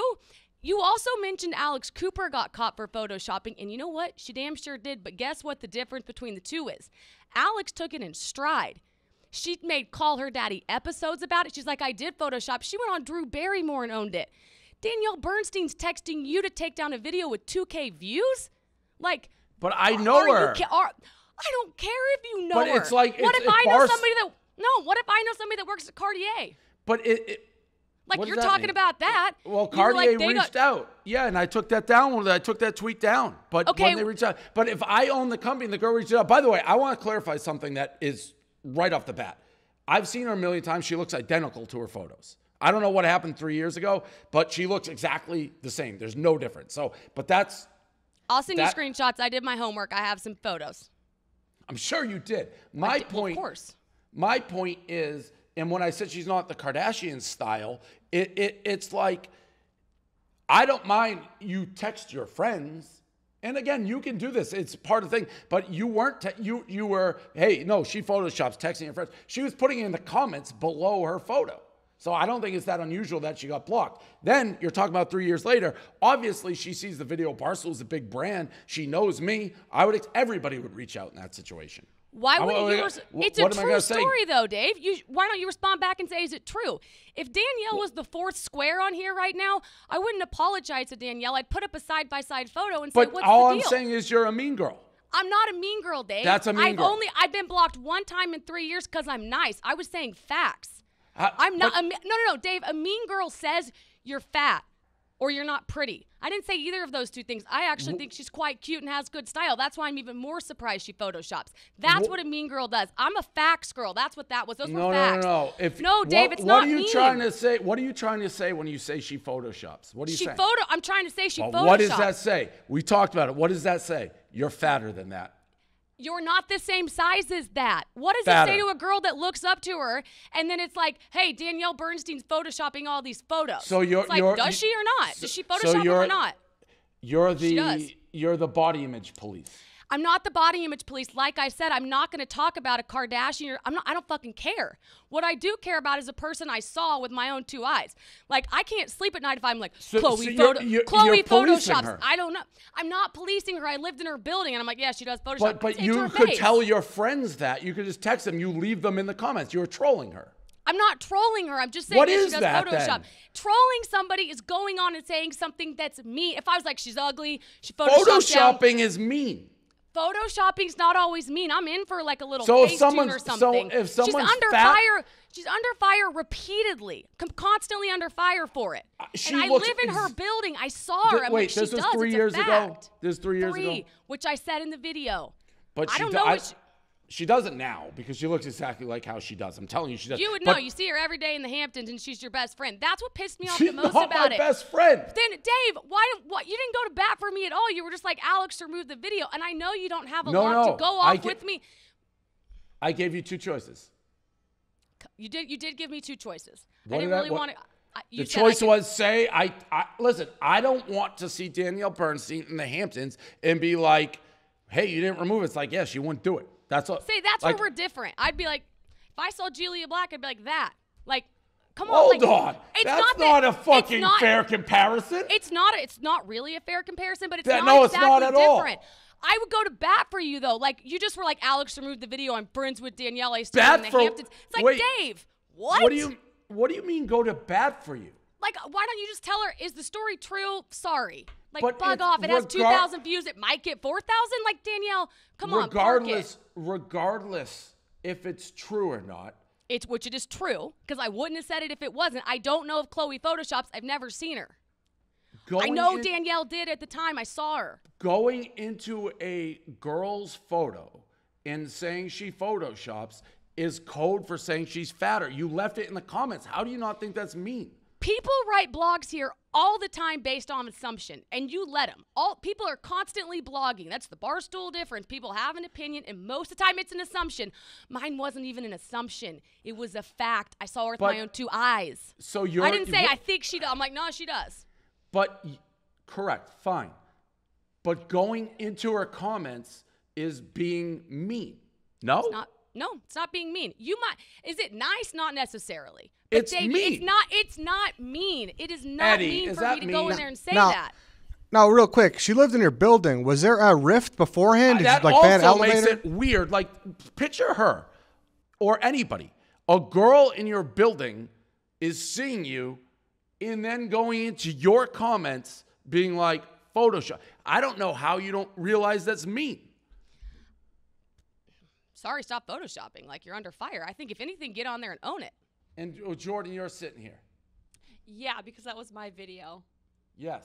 Did you Yeah. sub did you subtweet me yesterday? No, but I mean, wait, which one? Like you're sick of men running your life or something? No, that wasn't about you, but I mean, oh. if the Who- shoe fits, Dave, Who was that about? my personal life. Okay, because we just talked about the whole. She has a show she wanted to do with Marty Mush and Marty Mush, which I it's an interview show. We're going off the rails. It's an interview show that Marty Mush should have never had anything to do with because I've never seen two people interview one person. And Marty Mush is doing a million things. And Marty Wait. Mush was.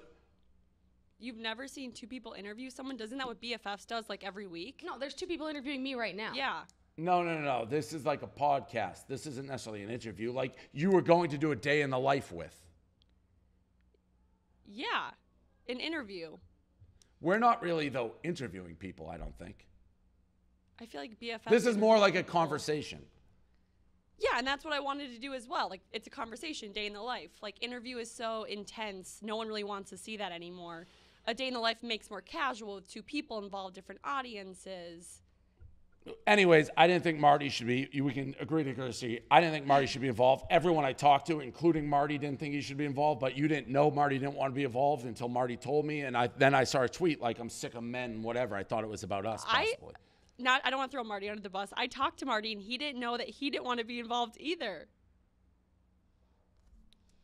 I mean, Receipts.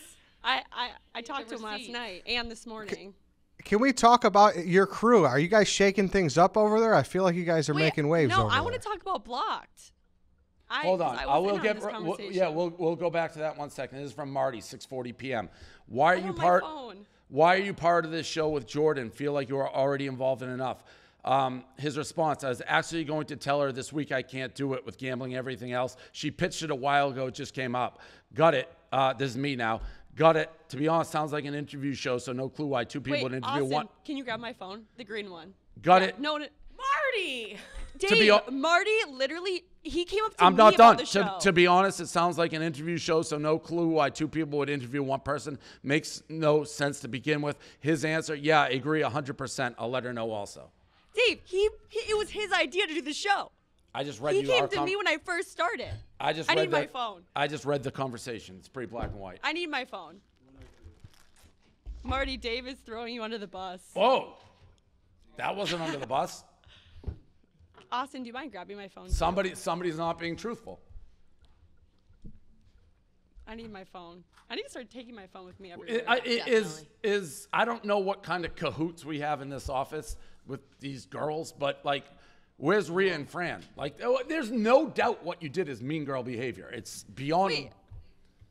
Why You are don't we think that- jumping all over the place? Marty, are you playing both sides of the fence here? Yeah. okay. But I did say, oh yeah, I for sure did. Marty! no, I am. I'm I'm very bad at that.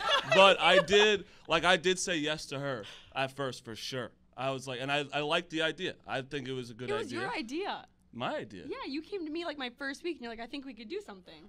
Yeah, that's not my idea. I think we could do something. I don't think it's my idea. But regardless, I thought I liked the idea. But then I really did. I think I got too much going on. And I was going to tell her soon because I'm going to Iowa that week of a bunch of shit. And I was like, I don't know if I'm going to be able to do it that soon. And I was going to tell her this week. I, uh, a thousand percent. After we already got the the okay from the person we were supposed to. Yeah, no, it was a good. I and I liked again. I who liked the who idea. okayed that? Like, who was the person we were interviewing? Oh, oh, you mean Griffin? Yeah. Yeah. Anyways, we can deal with that later. I mean, fine. I that all I'm saying is, Yeah, I'm over that. all right. So the mean girl, you want to chime in on her being a mean girl? She absolutely Yeah. is. Yes. Alex is the only mean girl here is Dave for taking down a video we worked really hard on. She had the option. To you know, you know the option to Oh, make. the yeah, video. yeah, yeah. I just I said, I said, as long as it's knowledge that I asked for it to come down, she could keep it up. I said that. And I what did you say? I said Silvana thought it was mean too. You're like, well, if she thought it was mean, it's gone. Yeah, no, I, I said you should have led with that. But Yeah. then then I, you know, I hang up the phone and I'm getting, I got, I got like more, not sad, not upset, but I was like, that was messed up, Dave Portnoy. That was a messed up phone call. And I Why? think it was a messed up stance from you. You're Yeah. like, you're a mean girl. I'm like, God, I You like, are a to- mean girl. I went to high school. Like, come No, on, we're in she's content. I wanted to work at Oh Barstool. if that was God. a guy in the seat, this would never be talked about. What are you talking about? No, I mean, I could, st- I I feel like we could like, okay. If a guy was on her page being like Photoshop, Photoshop when she's posting and then made a video and she called me, I won't say it to the guy. That's lunacy. Hey, real quick, Jordan, were you were you discouraged when Dave shot that project down? What hap- What's the aftermath from that? Well, I was just upset because I wish Dave would have came to me because this was my video that me and the person who helped me produce it worked hours on, and he just went right to Alex and Well, was like, Alex hey, said it. This down. It was my video though. That's like me going to like you create this video, but me going to someone who's easier for you to talk to because you know them and be like, take that video down. Like, well, I no, wish you would've Alex. just asked me. Alex said it. But it was my video on my channel. I just saw Alex talking about it. Kareem, the live yak. Can you talk about that? Can I talk about it? Yeah, Can- wasn't that a thing? Isn't It- that why we wanted to have Hannah on? That is true. I mean, it's the same squad, isn't it? Does Dave Does Dave know about it? Yeah, Dave knows. What? That apparently Brandon Walker like was really mad something about his sister and at the live yak. Wait, what happened? I don't. This is news to me. I don't know what you guys are talking about. I don't know what you're talking about. Kareem, you know the involving best. Hannah Cook. You're saying? Yeah. What are we talking So, about? uh, apparently, there was a live a live Yak show, and uh, Hannah Cook said to Caitlin Walker, Brandon's sister, that non-content people weren't allowed to hang out with content people, and just a bunch of other stuff. And I guess Caitlin obviously wasn't too happy with it, and Brandon also was not. And it was just kind of like a topic around the office. This is the first I'm hearing about this. I was the the drunkest girl at the live yak show, so I don't know. Wait, what? I was also very. I I don't remember anything. like- Hannah Hannah told Brandon Walker's sister that his sister couldn't interact with content people. That doesn't sound believable. Well, Brandon is coming in to describe his version of the events because his sister's non-content, so she can't hang out with content people, so we can't put her on the show. But Brandon was more than willing to uh, explain explain his side. Walker, what I just heard. Hello, hello, Dave. I just heard this story is relayed to me. Hannah Cook, there's a Yak live show. Hannah Cook told your sister, who I don't know who your sister is or what she's here, but that she's not allowed to interact with content people. My sister books the travel. She was an intern until January 1st. She got a full time job, but she books the travel. Your and, sister uh, works at Barstool? She's Yeah. the best. She's great. What the fuck? She she's been here a year. Oh, Um, Your sister has been working for us for a year? She's been, she was an intern for nine months, and she just got full time in January. Who the fuck's your sister? Caitlin. It's Caitlin. She does. She books the travel. Anyway, She's she in the office? she's in the office. She sits over there uh, by, By me. Pete and Jen and, the, and, and by Kareem. Yeah, very nice girl, I will say. Super nice. You've seen her many times in your life. How Definitely incestuous You is can this tell place? they're related. Uh, so anyway, uh, my sister was at the Yak Your Live. show. sister works at Barstool? has been working here for a long time. Yes, Mississippi is a very tough place. I gave her an opportunity. I said I can get you an internship, but that's all I can get you. She took the internship nine months, and then she, she they gave her a full time job. You talk to me the way you talked to me at that live stream when we gave your sister a job? Sure did. Yep.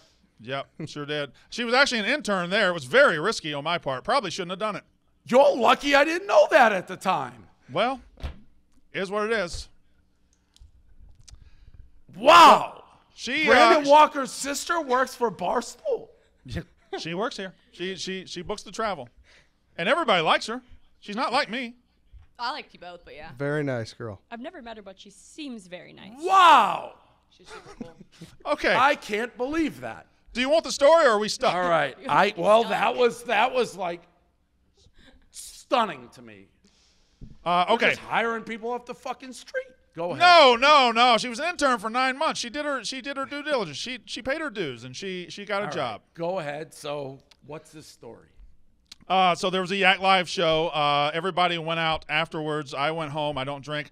Uh, Alex Bennett right here got very, very, very drunk, fall down drunk. No, I didn't fall down. I fell asleep, which Fe- I already said I was the drunkest girl at the live fell show. She she got fall asleep drunk, and my it, it fell upon my sister who was just there to take care of Alex, and she was holding her, and she called her husband to come get her, come get her. Graham.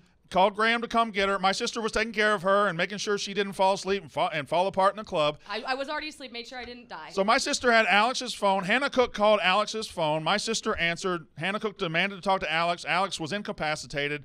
Hannah Cook then started uh, berating my sister and told her, you, "You're non-content. You shouldn't be hanging out with content people. It looks bad on us."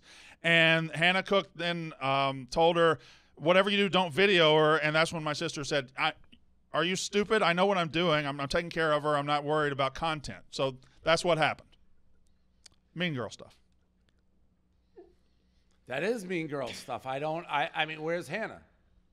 I just she's not here, right? No, I haven't the- seen her, so It's not funny. The mean girl was funny. Did you know this happened? Trust me, I don't know anything that I, happened. I this is the first I'm hearing. I mean, like that actually makes me. This was like the number one topic around the office though last week. I, Let's yeah, not- everybody has like- talked about didn't this Yeah. story. I didn't well, I'm not going to be the one they tell. well, that's true. I- That I'm is- not yeah. gonna. They're not telling me that story. I sit next to you and I didn't hear one person talking about it. I, I don't know what to tell you. It wouldn't surprise me with the mean girl club we got going on here. Yeah, and my, my sister felt bad that she had to talk back to her, but you know she's I don't you know I don't think she's gonna get yelled at. So I don't know why Hannah told her not to hang out with content. She was taking care of you. I'll tell Hannah's you why. joining. and entirely thankful for Because Caitlin. there It was we got a fucking couple mean girls in this joint. I- was I mean to Caitlin? No, you weren't. I was fucking. I love her. Hey, She's Brand awesome. Walker. Hey, I go Brand give her a Walker. hug. Did I, do you think if you go into another girl's comment section and repeatedly tag Photoshop picture, Photoshop picture, that's mean girl behavior?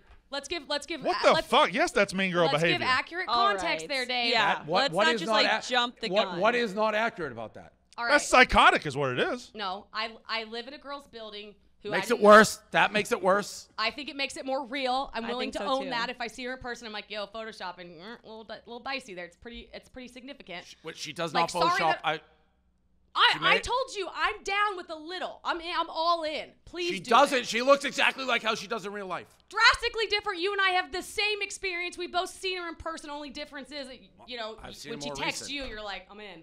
Um, I told you it was three years ago, Okay, and I fine. said that in the video, but you didn't watch, which isn't fair. Okay, I live in a girl's. Do we, are we gonna get everybody's take on this? What's happening?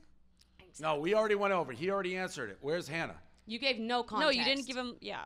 I'd, s- I I You didn't. Have, you don't have the real story. I, I got the gist that? of it. It's fine. I haven't seen Hannah. I don't think she's here today. Oh, She's thought not in the office. No, she's joining via Zoom because she doesn't work in the office this week because there's no advisors and she lives somewhere else.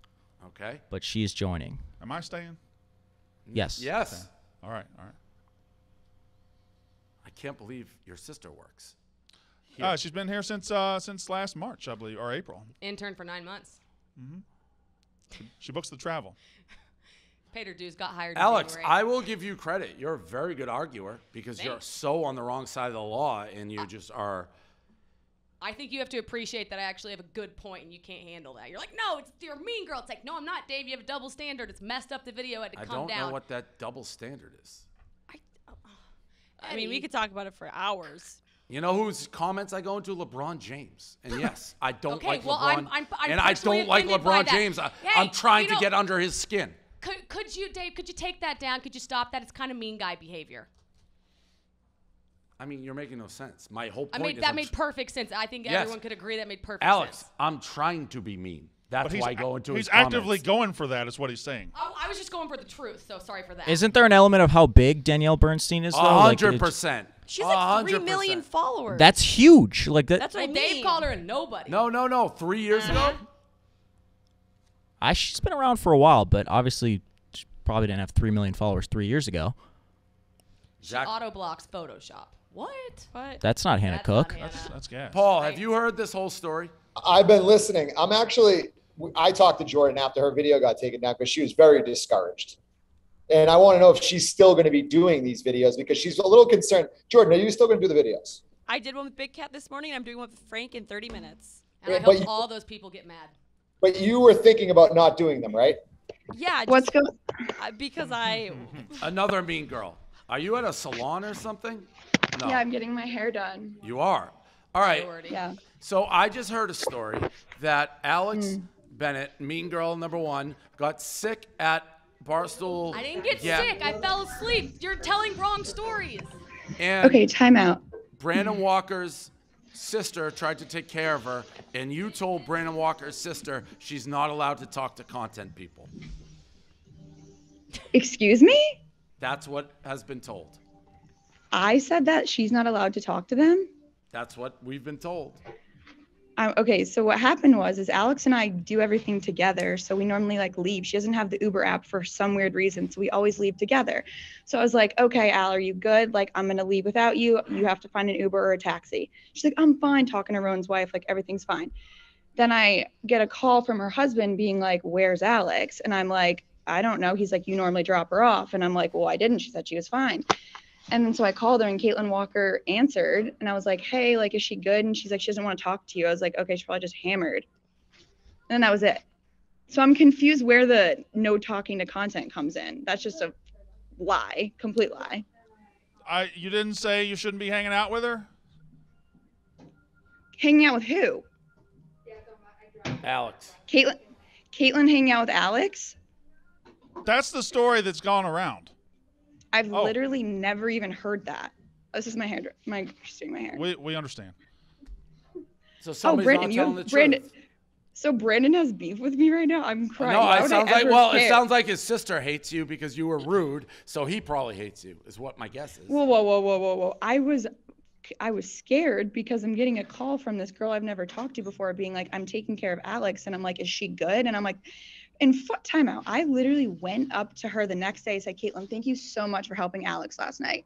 Why don't you bring her on? Because tell tell her tell her to Is tell it to my here? face that she said that. Yeah, bring her on. Bring her on. She's not. I don't. I, can I just be the agent for her? She didn't. She didn't sign up for this. Well, she's gonna lie then. Well, tell well, time out. face- she's not. Mm-hmm. Time out. She didn't start sign up for it, but it, it somehow it's on this show. I'm How did so it get confused. to this I've- point? We talk about I'm office ne- happenings here. That was the a very big office right. happening. Can so we brought it up. confirm or deny? If you don't want her on the show, I'll respect that. That's fair. But can you can you what Hannah just said that she talked to her the next day and said thank you? Well, it happened on a Friday. The next day was a Saturday, so I doubt that happened because Caitlin was. Sorry. So so Monday. Monday. Monday. Sorry. Why would I ever be rude to a girl I don't even know? I've talked to her like once. I didn't even know who she was until she booked my flight to California this week. Well, if you were a mean girl, I'm not a mean girl. have a seat. So she's it. All right, here's, here's my Perfect. sister, Dave. Okay. Nice to meet you. I didn't Nice know to meet you.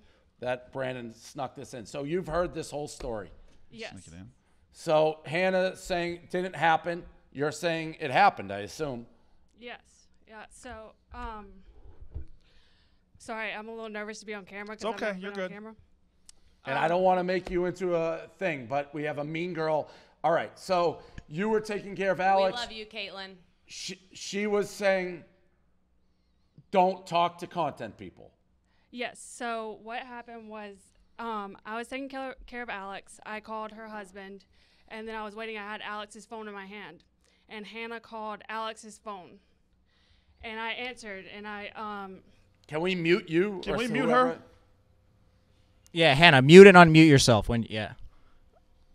So Hannah called Alex's phone, and I answered, and Hannah immediately I said, "Hey, this is Caitlin." She was like, "Why are you with Alex?" She was like, "Let me speak to Alex. Let me speak to Alex." I was like, "She's incapacitated. Like, she can't talk to you. She had her head on the bar. Like, she just couldn't talk to her."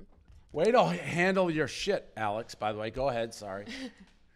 Um, and then that's like whenever uh, she started saying, "Well, you know she's content. Like, uh, you don't need to like video her. Blah blah blah." Like, um, basically, I just felt mean girl the entire time. Like she was condescendingly talking down to me. Um, and finally, I just said, like when she said that you shouldn't video her, I said, "Are you dumb? Like I work at this company too." Okay. Did let's move to Monday. Did she? Time out, time out, time out. First off, if you guys want someone to, who heard the conversation, get Kat Ellis in here. I was sleeping at her house and she heard the whole thing. So if you guys want me, I like, get sh- Sarah I was Zermo. first off, Wait. Hold on. Did she? What, did she come up? why you would I care? Yes. Did I not say thank you for taking care of Alex? Yes, after it was all over, you asked me, you emailed me your phone number after it because I was like, look, I'm done with this conversation. I was like, you can send me your phone number, and then you were like, just tell me when she gets home. And so you sent Time me out. your phone number. What? What? I uh, never- were, were you drinking? Was I drinking? Yeah, I was. I was gonna say, was everyone just drunk and that's why this like got out of hand? I'm just confused. Like I'm at I a, I have a very like I'm not mean first off, and second off, I have no clue where this is even coming from. I don't even know you, and then I literally thanked you on Monday. So like I'm so confused as to what The- you're oh, where, w- why you even everyone had this beef. Was everybody drinking? Yeah. drinking? Were you yes for drinking? me. He's I- asking sorry. you. Oh, yes, I was, but I wasn't drunk. Okay, so my only hearing all this now, I don't know how I'm like peacemaker here, but is there an element, even the way you just described it, sounded almost in the beginning as though Hannah's like, don't video her, which I get you being like, I'm not stupid, but like if I'm there and Alex is passed out like that, I'm putting that on the internet. That'd be mean boy shit, but okay. I, unlike you, I call a spade a spade. I would put that I was on the calling internet. a sp- I was calling a spade a spade on the internet. But but it sounds like that's what Hannah was saying. Like, don't video her; she's content. And then something went haywire. I was just looking out for Alex, and honestly, Caitlin, I literally have no clue where it's even coming from. I'm sorry if you ever got the impression I was mean, which is like actually upsets me because I was just literally looking out for Alex. Like, sorry. Um, I was the one taking care of her. I was the one there, and like you could have come back, you could have been there to take care of her, but you did not, and you were mean the whole time. You mean girl me. I'm like I'm gonna sit here and say it, like you mean girl me. Don't let these motherfuckers talk down to you.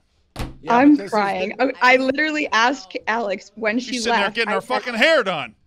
I don't. That's Why doesn't Alex? I don't why- know. I'm sorry. Turns out Adderall and margaritas don't mix well. Like Alex remembers nothing. I've said that. Like I was in. I was in a state of panic. I'm like His this. her.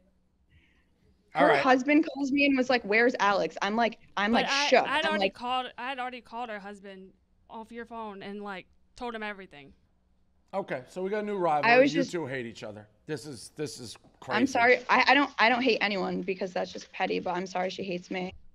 I I hate you too. I don't hate you. I do. Well, I hate you, Brandon. So we're all. I know. good. I hate you too, Dave. Question. Last question though. Was the uh, was the thank you sincere on Monday? Probably not. Well, I'm asking your sister. Your I mean, Why would I go out just of my way? You came up to ask me to book you a hotel, and then you're like, "Oh, thanks for uh, taking care of Alex." I said, "Cool, got your hotel booked." All right, I'm just not going to say thank you. I'm just not going to say tough thank you when you book my stuff anymore. Then. Walkers are Like a what? tough Okay, crew. cool. All right. Thank you. Thank you. Brandon. Thank you. Is that everyone? Bye, guys. Bye.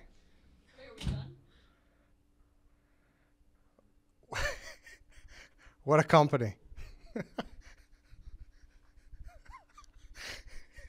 What are we even talking about? The only thing I know for sure is Alex was a mean girl to Danielle Bernstein. Fact. That exchange,